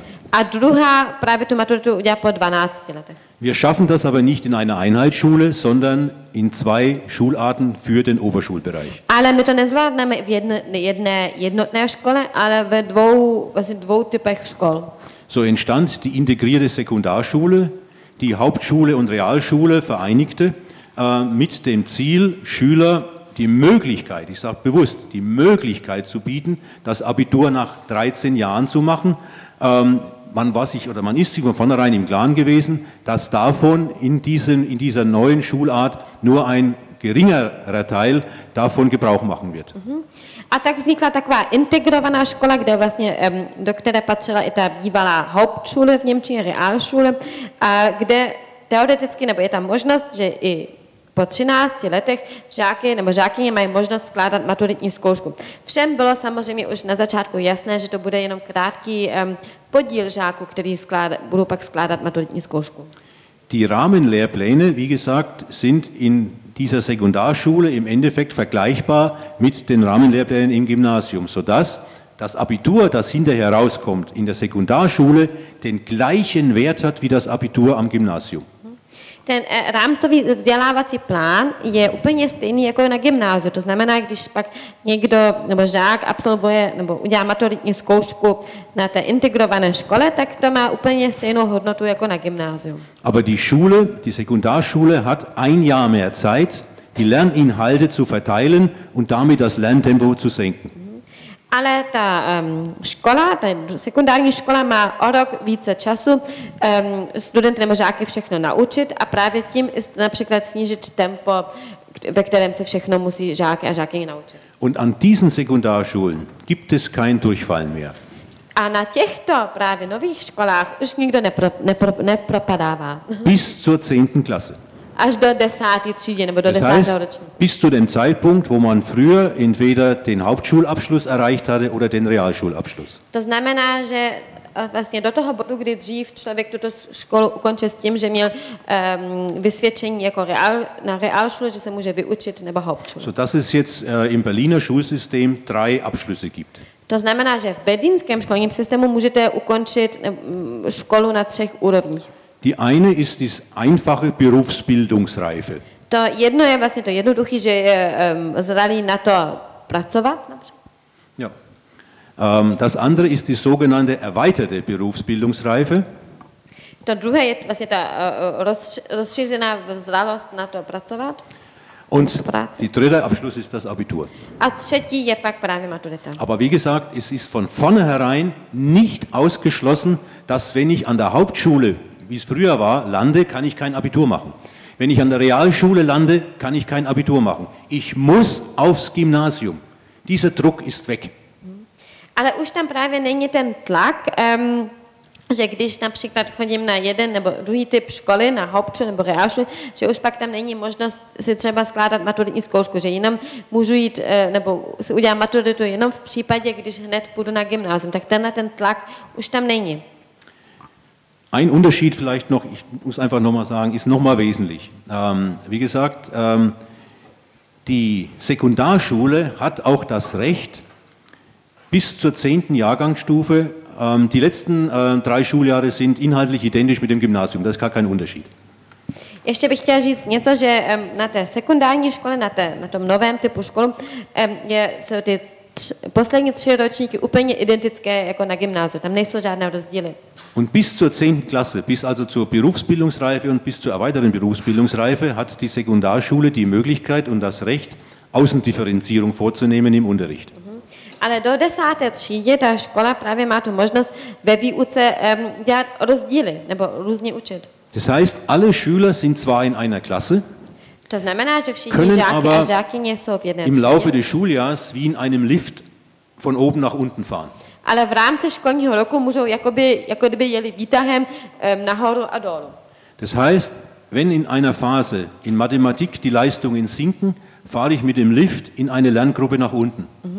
To znamená například v nějaké fázi, kdy em, třeba eh, v, v matematice jsou nějaké problémy, tak výtahem pojedu o jednu, jeden stupeň níž. Bleibe so lange in der Lerngruppe, bis ich den Standard erreicht habe und fahre wieder nach oben. A zůstanu tak dlouho v té skupině, až ten standard zase, až se dostanu zase na, ten, na tu správnou úroveň a zase výtahem jedu nahoru. Sind die Leistungen besonders gut, kann ich von vornherein mit dem Lift eine Stufe nach oben fahren. Když ty výkony jsou dobrý, dobré, tak od začátku můžu jet také výtahem nahoru. Am Ende des Schuljahres muss es dazu führen, dass die Schüler auf der Etage Null sind. Na konci školního roku to musí být tak, že žáky a žákyně musí být na, v přízemí nebo na etáži nula. Also muss niemand durchfallen. Takže nemůže nebo nemusí nikdo propadnout. Gleichzeitig hat man ein Kompetenzmuster eingeführt. A zároveň jsme zavedli um, vzor pro kompetence. Das heißt, es geht nicht mehr nur um die Vermittlung von Lerninhalten oder Lernstoff, wie man früher sagte, Takže už nejde jenom o to předávání um, obsah nebo, mate, nebo mm, věci, které se musí naučit, sondern es geht um die Vermittlung von Kompetenzen, die mich, die mich befähigen, Problemlösungen zu stellen gegenüber Aufgaben, die ich vorher gar nicht kannte. ale je, jde i o to, že se předávají, nebo že žáky a žákyně se učí, jak vyřešit určitě problémy pro úkoly, které jsem předtím ani neznal. Und darauf sind auch die Prüfungen ausgerichtet. A takhle jsou i právě vytvořené pak zkoušky, nebo na to jsou ty zkoušky připravené. Am Gymnasium ist das Lerntempo von vornherein höher, weil es nach zwölf Jahren endet. Na gymnáziu hned od začátku to tempo je samozřejmě rychlejší, nebo rychleji se musí všechno učit, protože na všechno mají i jenom 12 let, nebo po 12 letech všechno Das klingt zunächst äh, gar nicht so dramatisch. Was ist schon ein Jahr Unterschied? To na začátku možná ani nezní tak dramaticky, to, když Aber se člověk řekne, bedeutet- že je rok rozdíl. Es bedeutet im Schulalltag, im Schulalltag unglaublich viel. Ale když se podíváte na školní den nebo školní život, tak to je docela hodně. Eigentlich ist es eine einfache Rechnung. Docela jednoduch, duche, jednoduše se to dá spočítat. Die Oberschule hat einen Umfang von sechs Jahren Ta vyšší škola má 6 let am Gymnasium. Das heißt, gegenüber der Sekundarschule muss das Gymnasium pro Jahr zwei Monate einsparen. Nehm- mal zwei ist zwölf. To znamená na, vlastně na gymnáziu v porovnání s, těch, em, z, těch, em, s tou sekundární školou právě musí ušetřit v každém roce dva měsíce. Und jetzt rechnen Sie mal zwei Monate Einsparung in, in Lernstunden um. A když se podíváte na to, když ušetříte dva měsíce em, a spočítáte se, kolik hodin se můžou nebo musí učit, Dann kann man leicht erkennen, worin die Erhöhung des Lerntempos am Gymnasium besteht. tak se rychle můžete podívat, v čem vlastně pochází to, vlastně to zvýšení toho tempa na gymnáziu. Dem können bestimmte Schüler ganz leicht folgen. A tomu samozřejmě, eh, nebo to všech, eh, někteří studenti nebo studen, žáky a žákyně tomu můžou dobře následovat. Andere Schüler können das nicht, Jiní žáky a žákyně to nemohou. aus welchen Gründen aus immer. Elternhaus, persönliche Veranlagung oder was auch immer. A tam můžou být i různé důvody, například to můžou být rodiče, nebo osobní znalosti, nebo dovednosti, nebo cokoliv. Sie sind vielleicht auch Kinder, die sich später erst entwickeln, die erst mit 14, 15 ja, aufwachen. Například můžou být děti, které se vyvíjí až později, které se probudí až ve 14 nebo v 15. Und für die ist aber zu dem Zeitpunkt, wo sie 14 und 15 nicht schon entschieden, dass sie kein Abitur mehr machen können. Ale pro ně pak už nebylo předem rozhodnuto ve 14 nebo v 15, že nemůžou skládat maturitu. Sie können es immer noch, sie müssen es aber nicht. Aber von, die entscheidende Schulreform in Berlin war die, zu sagen, es gibt die Möglichkeit, an jeder Schulform den höchstmöglichen Abschluss zu erreichen und damit der Selektion und der Segregation vorzubeugen. Ale pořád mají tu možnost, a to bylo právě to rozhodnutí v Berlíně, že pak pořád ještě mají tu možnost právě skládat maturitu. Můžou to, ale nemusí to. A to právě bylo to, že nech, vlastně pak se nekoná ta segregace ve Und, durch, und společnosti. durch das System der Außendifferenzierung an der Sekundarschule Und durch das Kompetenzmuster hat ähm, das Kollegium, hat die Lehrerschaft an einer Sekundarschule die Möglichkeit, ähm, auch jahrgangsübergreifend zu arbeiten, weil ja keiner mehr durchfällt. Das heißt, ein Schüler, der vielleicht am Ende der 9. Klasse in Mathematik noch einen Rückstand hat, kann den auch aufholen zu Beginn der 10. A to znamená, že tam je vlastně, že tam máme různý most, že i kolegové můžou spolupracovat a vlastně můžou spolupracovat přes různé ročníky, protože už nikdo nemůže e, propadnout. To znamená, že někdo třeba e, v matice v devátém ročníku si to může ještě opakovat a pak zase jít do toho desátého ročníku. Und trotzdem bleibt für die Kinder, die im Lerntempo schneller sind, deren Auffassungsgabe besser ist, die schneller verarbeiten können, die weniger Übungen, weniger Wiederholungen brauchen, dennoch die Möglichkeit, eben am Gymnasium ein Jahr früher als ihre Jahrgangskollegen an die Universität zu gehen. Mhm. Ale pořád je tam ještě ta možnost, že děti, kteří se učí rychle, kteří rychle uh, vykonávají své úkoly a tak dále, mají pořád tu možnost na, tu, na vlastně začít studovat na univerzitě o rok dříve než jejich spolužák. Und es gibt keine Restschulen mehr, so hat man die in Deutschland genannt, die Hauptschule. A neexistují už takzvané zbytkové školy, se dá říct, to byl jiný název, který se v Německu používal pro um, takzvaný Hauptschulen. Die Hauptschule in Berlin, ja. Die Hauptschule in Berlin war im Endeffekt äh, im Jahr 2000 ja, äh, degradiert zu einem Sammelbecken für die Schüler die überall erfolglos gewesen sind. Mhm. To znamená, že v Berlíně to bylo tak, že takzvaná Hauptschule, ta nejnižší škola, vlastně byla degradovaná tím, že tam už skončili všichni žáky a žákyně, kteří už nikam nemohli jít. Und sie kamen aus der Krux nicht heraus, weil in ihrer schulischen Umgebung kein einziger Schüler war, der besser war als sie. A nedostali se z toho ven, protože v jejím okolí ve škole nikdo nebyl lepší než oni. Und es keinen Anreiz gab, es einem anderen gleich zu tun, oder auch keinen gab, der einem helfen konnte. A také sam, tam nebyla žádná motivace někomu vlastně být jako lepší, nebo taky tam nebyl nikdo, kdo by do, tomu druhému mohl pomáhat. In der Sekundarschule bleiben alle Schüler, vom schwächsten bis zur stärksten bis zur 10. Klasse zusammen. V té sekundární škole je to tak, že všichni do desáté třídy zůstávají dohromady, nebo od 6. do desáté třídy zůstávají dohromady, i když je někdo nejlepší a někdo je třeba nejhorší. Das heißt, es gibt in jeder Klasse Vorbilder, an denen man sich orientieren kann und die einem auch zeigen, dass man, wenn man sich anstrengt, es auch schafft. To znamená, že v každé třídě máte někoho, koho můžete obdivovat, nebo ne, podle koho se můžete um, orientovat, jak se učí a pak to také zvládne, zvládnou. Und als letztes vielleicht noch, es ist auch nicht ausgeschlossen, von vornherein nicht ausgeschlossen, sondern bewusst offen gehalten, die Durchgängigkeit. Wenn sich herausstellt, dass ein Schüler in die Sekundarschule gegangen ist nach der sechsten Klasse, weil Eltern und erst der Schüler selbst davon überzeugt waren, dass das Gymnasium für ihn vielleicht doch eine Anforderungsstufe zu hoch ist. Und es stellt sich im Laufe der Karriere an der Sekundarschule heraus, dass er einfach den anderen zu weit voraus ist, sodass auch das Liftsystem nicht mehr greift, dann kann er problemlos auf Empfehlung der Klassenkonferenz aufs Gymnasium wechseln, wenn ihn der Schulleiter des Gymnasiums aufnimmt. Uh-huh. Ale také ještě naposled bych chtěl říct, že pořád tam jsou ještě otevřené možnosti. To znamená například, když na začátku třeba u žáka nebo žákyně eh, nejdříve si třeba myslí, že by neměli jít na gymnázium a právě půjde na tu sekundární školu, že třeba ještě gymnázium by mohl mít moc těžký, ale pak třeba na té škole zjistí, že by vlastně na to gymnázium mohl jít, že je úspěšný, tak právě můžou rodiče ve spolupráci s učiteli a v učitelské konferenci rozhodnout, že může jít například i na gymnázium Gymnasium, když je tam volné místo. Entschuldigung, aber ich, die Frage brauchte, glaube ich, ein bisschen eine längere Erklärung. Já se omlouvám, ale tato otázka potřebovala delší vysvětlení. Paní Straková, teď jsme slyšeli, jak to funguje v tom otevřeném a velmi prostupném systému. Když se podíváme do Čech, kde je ten systém oproti tomu velice selektivní, kolik studentů tedy zůstane v těch, eh, jak, by, jak řekl pan Krab, sběrných školách, kde se schromažďují studenti, kteří jinde úspěšní nebyli? Eh, no, u nás tu roli těch Hauptschule vlastně plní ty nematuritní obory. Mm-hmm. To znamená tady, já jsem velice ráda, že jsem si mohla vyslechnout, jak to tady v Berlíně řeší, protože podle mého názoru toto je přesně recept pro nás. Mm-hmm. Samozřejmě ani u nás nepřipadá v úvahu spojit všechny ty tři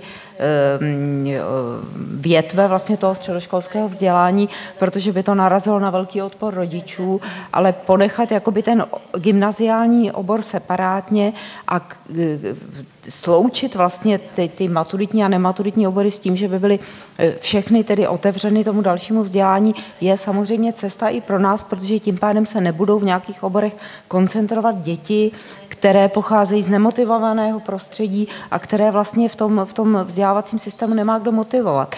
A tenhle ten recept by pro nás měl ještě další efekt, že by se e, ten obsah toho vzdělávání přiblížil. Protože v současné době, už jsem to říkala, ty, ty rozdíly mezi tím obsahem vzdělávání v těch jednotlivých třech větvích jsou velmi vysoké. A tohle to vede k tomu, že se vlastně přiblíží ten obsah vzdělávání, když samozřejmě určitá diferenciace tam bude vždycky a to znamená, že se také zvyšuje ta, ta prostupnost. Takže tohle to by bylo samozřejmě úžasné, ale my jsme v současné době v situaci, kdy ta diferenciace na úrovni středního vzdělávání je vysoká a máme tady ty nematuritní obory, kde se e, koncentrují děti, které jsou znevýhodněny svým rodinným zázemím a vlastně dále znevýhodňovány tím prostředím na škole, na které studují a tím obsahem vzdělávání, které se jim tam dostává.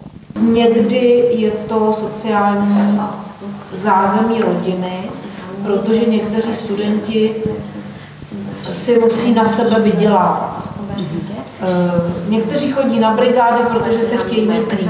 Tak o těch teď nemluvím, ale někteří opravdu potřebují získávat peníze, protože třeba rodiče řeknou, my už tě nebudeme podporovat. Já jsem tomu nejdřív nevěřila, že to je možné v dnešní době, ale je to tak. Takže tam se snažíme mm, jako víc vstříc těmhle těm studentům a pomáhat jim, aby, aby tu školu nějak zvládli i při tom zatížení velkém. Takže to jsou asi hlavní důvody. Myslím, že málo kdy je to tak, že by na to neměli.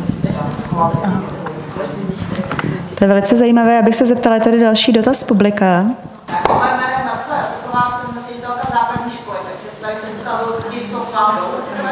A na můj dotaz mi asi tady nahrála paní ředitelka Zaplanky a ráda bych se zeptala. Tento týden nám nová studentka 9. třída z Ukrajiny, to znamená, je v České republice pondělka. Celá rodina teda nikdo v rodině nemluví českým jazykem. Má tato slečna i za cenu toho, že my dáme jakoukoliv podporu, najdeme nějakou podporu po mně a nebude to jenom ten jeden vzdělávací kurz, který se v rámci regionu nabízí. Má tato slečna šanci přejít studovat přes státní přijímací zkoušky do střední školy s vyučovacím českým jazykem a tu podporu dostat u vás? Otázka. Tak. Za tento týden velmi dobrými známkami z, z své původní školy.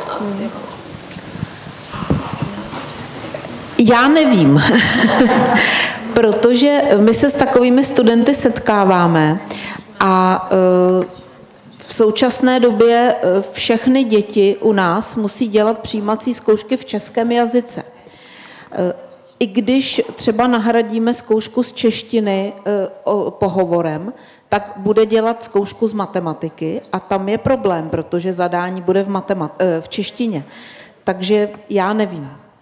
My jsme to dosud dělali tak, že jsme opravdu ty ústní zkoušky dělali, ověřili jsme, jestli to dítě umí česky a snažili jsme se zjistit i e, další věci e, a, a i jsme pomáhali e, jinak. Jo? Třeba my jsme měli esej, takže když děti vyrůstaly v cizině a spíš byly silné psaní v angličtině, tak jsme jim dovolili, aby psali v angličtině, ale ve státní přijímačce já nemůžu dělat vůbec nic.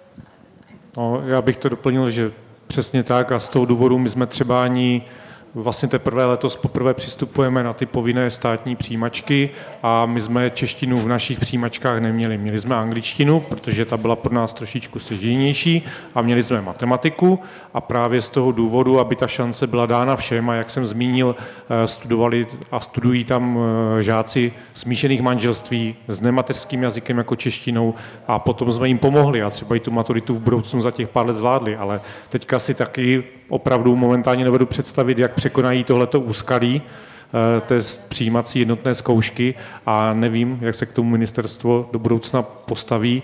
A to, co jsme řešili a to, co se teďka tady bylo zmíněno, že se bude možná řešit budoucnu koncepčně s maturitou pro tyto typy žáků, kteří jsou pouze několik let v České republice, aby měli šanci, tak uvidíme, co vznikne na ministerstvu v tomto oboru. Takže bohužel asi teďka bychom nepomohli vůbec a nevím.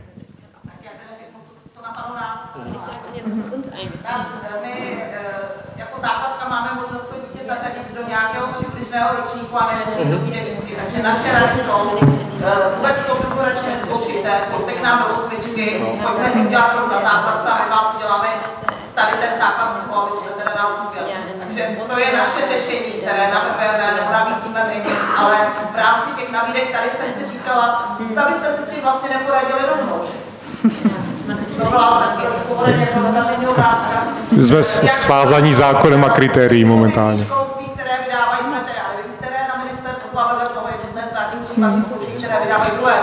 To je ono. My si sice můžeme nastavit tu úroveň úspěšnosti, takže i kdybychom dali 5%, tak eh, by možná po nějakém intenzivním češtinářském kurzu prošla, ale asi to nebude ono. Určitě. Přesně tak, to má daleko větší smysl a my jsme to takhle dělali v angličtině s těmi studenty, že, jak říkáte, přibližme, přibližně jsme je zařadili a než si ten jazyk přes intenzivní pomoc vylepšili, aby byli zařazeni normálně a zvládli to na nějaké dobré úrovni. Já bych jenom k tomu ještě dodala, že já mám dobrou zkušenost, ale s motivovanými rodiči, kdy třeba k nám přicházejí už uchazeči, kteří teď chodí třeba do osmé třídy a mají nějaký problém. Měli jsme třeba slepého studenta, cizinku velmi slabozrakou, takže ty rodiny přicházely už, když oni byli v osmé třídě a domluvali jsme se, co všechno musí udělat za ty dva roky, aby ty zkoušky udělali, tak je udělali a jsou, byli tam, teda ten jeden už odmaturoval. Ale byla to iniciativa těch rodin a ve spolupráci s námi. Tady jsme měli reakci z první řady, vy jste se chtěla něco zeptat? Prosím, máte slovo.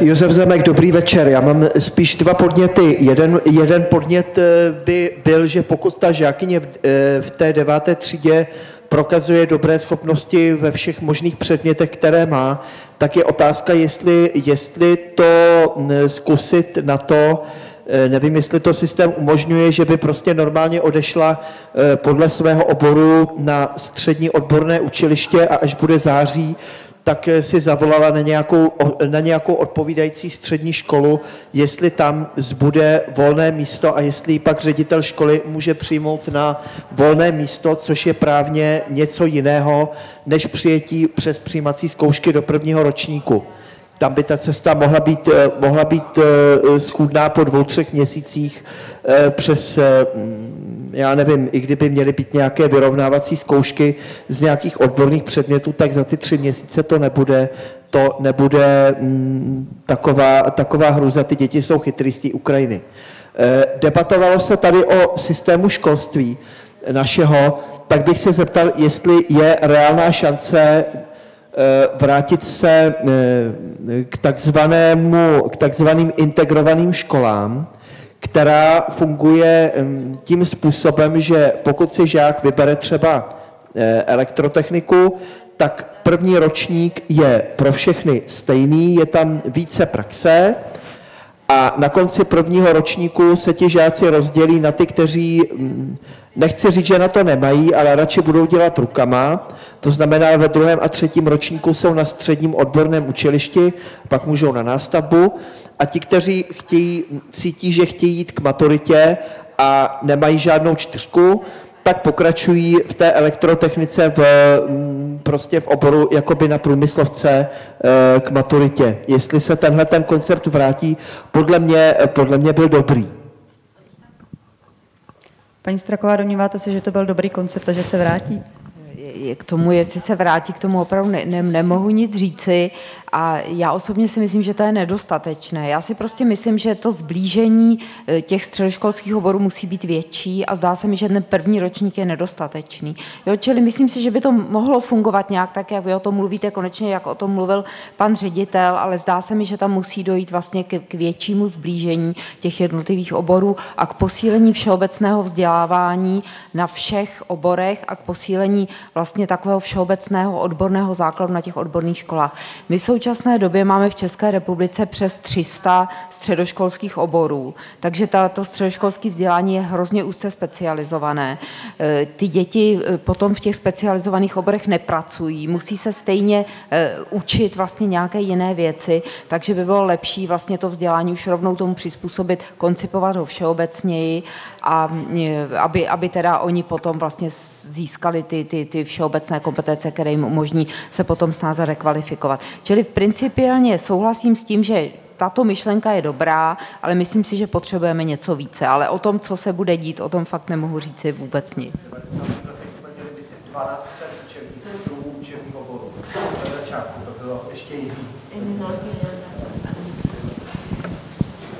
Zeptám se, jestli je další dotaz publika. Zdá se, že aktuálně ne. Mě tedy hodně zaujalo to, jak jste mluvili o vlastně takových z mého hlediska jdou protichudných tendencích eh, v tom českém školství. A ta jedna tendence je vlastně inkluze, o které se teď hodně hovoří.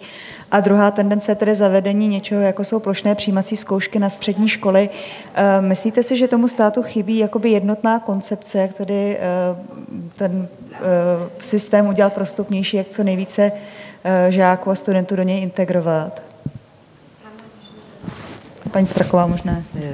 Já si, já si myslím, že tady chybí teda v první řadě to společenské rozhodnutí, jako jsme tady o něm hovořili. A potom samozřejmě vidím stále, že se ty, ta rozhodnutí té vzdělávací politiky, že jsou kontraverzní. Jo? Je to, my na jednu stranu vlastně e, se snažíme začlenit děti se speciálními vzdělávacími potřebami do hlavního vzdělávacího proudu, což je z mého pohledu velmi chválihodné. A na druhou stranu vlastně ponecháváme volnou diferenciaci na tom horním ním konci toho spektra. To znamená, necháme, umožňujeme vlastně takový zcela živelný růst různých výběrových škol, ponecháváme víceletá gymnázia. To znamená, to, co hrozí, je, že budeme mít ty děti se speciálními vzdělávacími potřebami jaksi integrované v tom hlavním vzdělávacím proudu, ale že ten hlavní vzdělávací proud se potom stane jakoby tou, tou, tou, tím, tím zbytkovým proudem a ty děti motivovaných rodičů budou chodit do těch výběrových škol. A takže mně se zdá, že když jsme řekli, že chceme vlastně tyhle ty děti začlenit, tak jsme zároveň měli říct, že chceme, aby se ty děti vzdělávaly společně. Ale to znamená všechny děti. A to se mi zdá, že jsme neudělali. A potom k tomu přicházejí právě tahle ta dílčí opatření typu jednotných zkoušek, na které si stěžují všichni ředitele, kteří to jsou inkluzí, myslí vážně. Protože e, stejně jako paní ředitelka o tom mluvila, prostě ta, ta, ten jednotný vlastně takovýto standard, kde kde nepřemýšlíme vlastně o těch výjimkách, nepřemýšlíme o tom, jak ho přizpůsobíme dětem, které mají nějaké speciální potřeby, tak ten potom samozřejmě vede k tomu, eh, že se ta inkluze nemůže v těch školách podařit, protože eh, ten systém pořád bude zaměřený na ten výkon a nebude zaměřen vlastně na ty jiné vzdělávací výstupy, které jsou, eh, stojí vlastně za tou ideou toho společného vzdělávání. Paní Kventová, k tomu ještě něco dodat? Ne, já jenom kývám hlavou. Dobře, eh, já jsem se chtěla zeptat na takovou ještě trošku jinou otázku pana Krapa. A eh, to vlastně je taková otázka ne, co eh, vlastně přináší ty školy těm, dejme tomu, slabším nebo ne zcela standardním žákům, ale naopak, co přináší těm většinovým to, že mohou ten prostor v té třídě sdílet s dětmi, které jsou odlišné. Um, Das Schulsystem muss so angelegt sein, logischerweise, dass ich allen Schülern äh, gerecht werde. Samozřejmě ten školní systém musí vypadat tak, nebo být vytvořen tak, že to vyhovuje všem žákům. Deswegen haben wir an unserer Schule im Rahmen der, ich sage, das Gymnasium darf die Außendifferenzierung nicht machen, sondern muss binnen differenzieren. Das heißt, innerhalb einer Schulklasse, innerhalb eines Kurses in der Oberstufe muss der Lehrer seine Methodik und Didaktik so gestalten, dass er den Schülern äh, auf unterschiedlichen äh, Wege ja, gerecht wird und nahe kommt. To znamená, že ty rozdíly, nebo i to rozdíl, ty, rozdíly se musí konat v té škole, v té výuce, v té třídě nebo v tom kurzu. To znamená, že ten učitel musí najít správný metodiku, správnou metodiku a didaktiku, že každý um, žák nebo každý student si najde svoji cestu, jak se může učit. Und wir haben äh, an unserer Schule bei all den vielen Problemen, die die Schüler haben mit Migrationshintergrund, immer darauf geachtet, dass die guten und sehr guten Schüler, die außerordentlich begabten Schüler, genauso äh, gefördert werden wie diejenigen, die am unteren Ende der Skala stehen.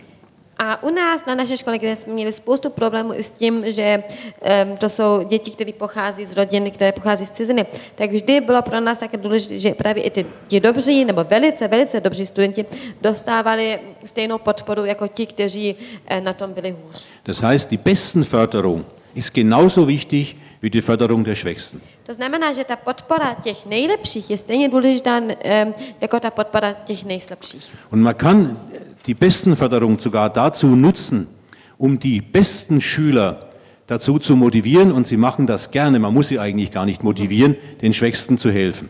A také samozřejmě se ta podpora těch nejlepších může eh, po- používat i na to a motivovat, ani se na to nemusí motivovat, protože to poznávají sami, nebo vidí, že to je důležité a hezké, že podporují i ti slabší nebo nejslabší. Das führt dazu, dass Schüler Schüler unterrichten. Und das Das- gibt nichts Besseres. To vede k tomu, že že jednotlivé žáky učí ostatní žáky a neexistuje nic lepšího.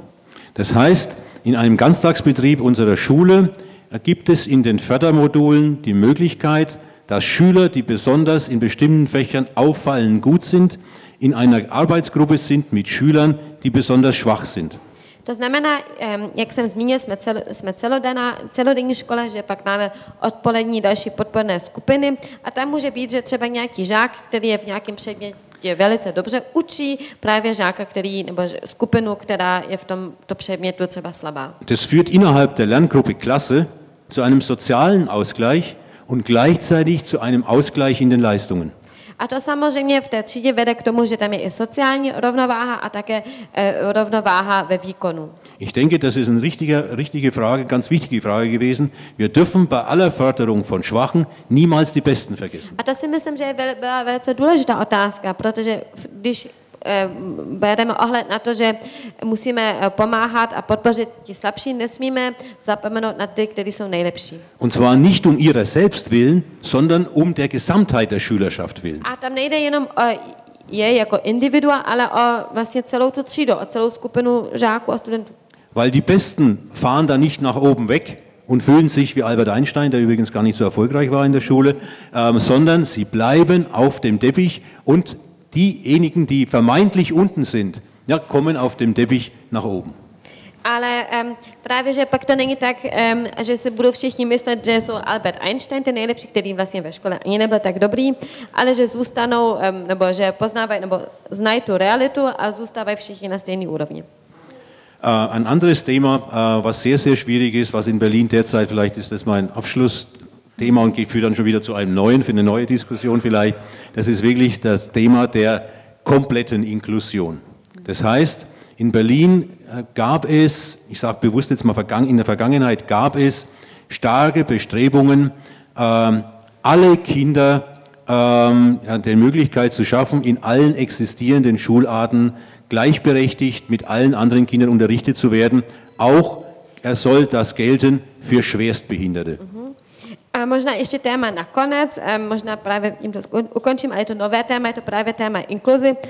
Um, to znamená, že v Berlíně bylo nebo existovalo, a zde zdůrazňuji, že to bylo v minulosti, ta myšlenka nebo ten nápad, že všechny děti by měly být na stejné, nebo úplně různé, jaké, odkud pocházely, nebo i jestli měli třeba nějaké fyzické nebo, nebo psychické ne- nedostatky nebo problémy, tak aby byli všichni společně v jedné třídě.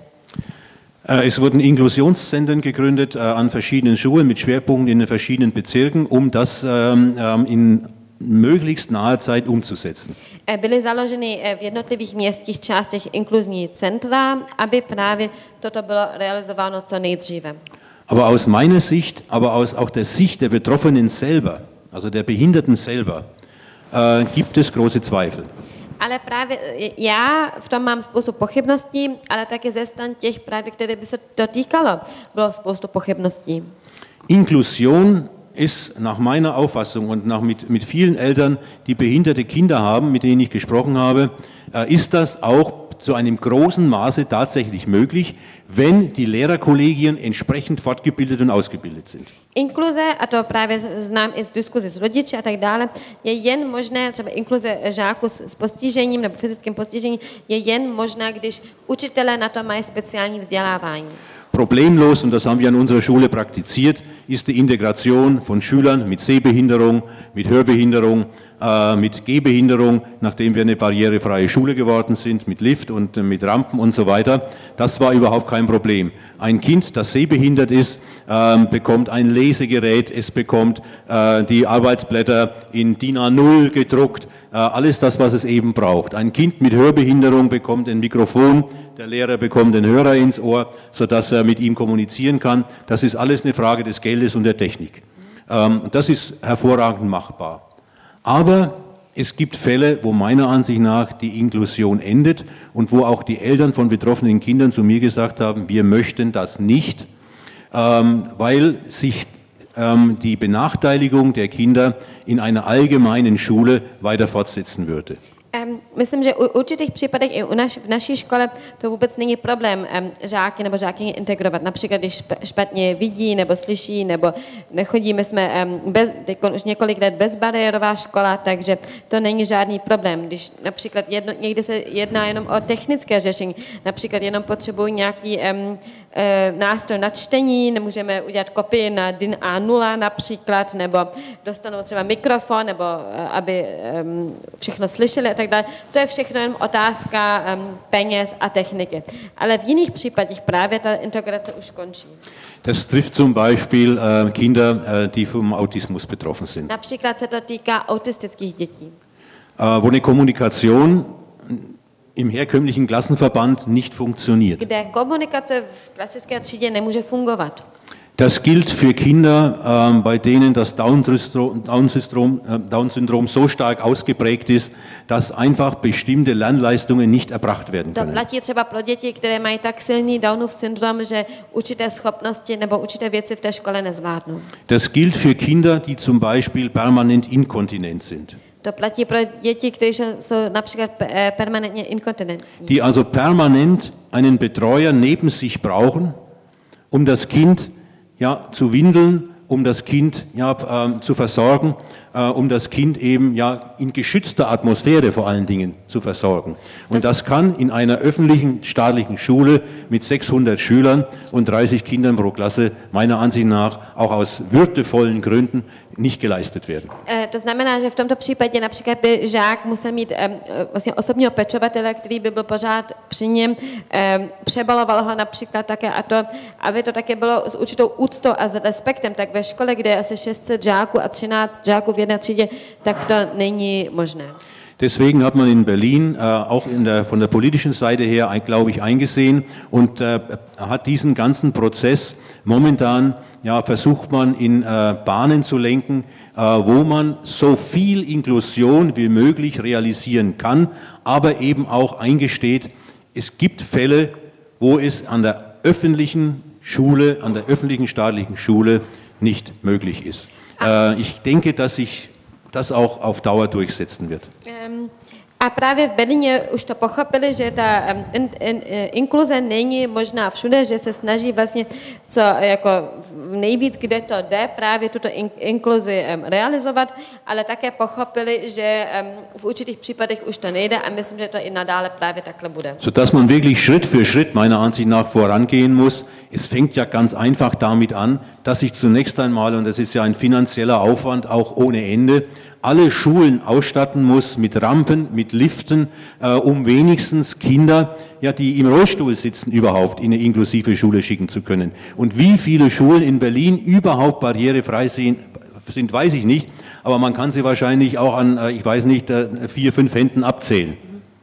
A samozřejmě to je také, e, jsou, to, jsou s tím spojené veliké, velké finanční náklady. To znamená, že všechny školy by musely být například bezbariérové, aby aspoň už e, třeba děti, které jsou na, na vozíčku, mohly být integrované v těch školách. A myslím si, že i v Berlíně těch škol za stolik není, že možná počítáme na čtyři nebo pět rukou.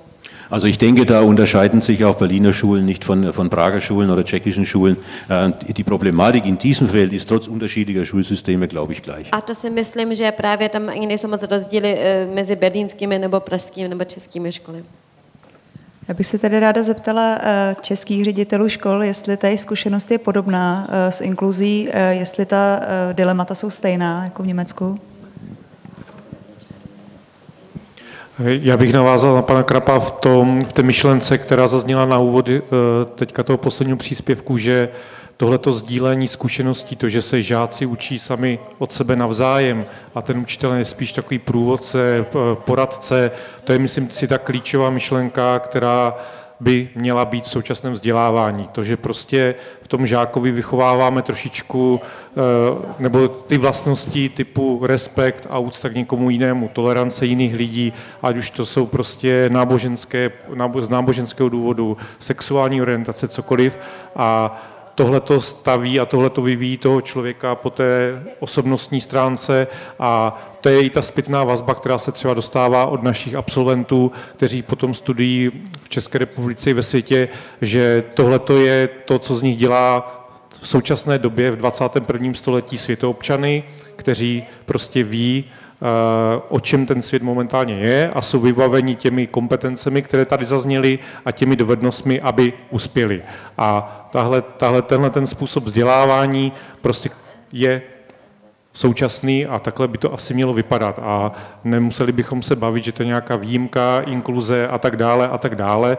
A tohle by měl být současný trend na skrz, ale to vede zpátky, co jsme tady zmínili, v nějaké celkové změně koncepce českého vzdělávacího systému, k výchově učitelů na vysokých školách a podobně. Jo? Ale s tím tím já naprosto musím souhlasit. Vím, že paní ředitelka to má takhle také nastaveno ve škole a takhle my se snažíme naše studenty vychovávat. A myslím si, že se nám to vrací zpětně ve velkém a jenom v pozitivním smyslu.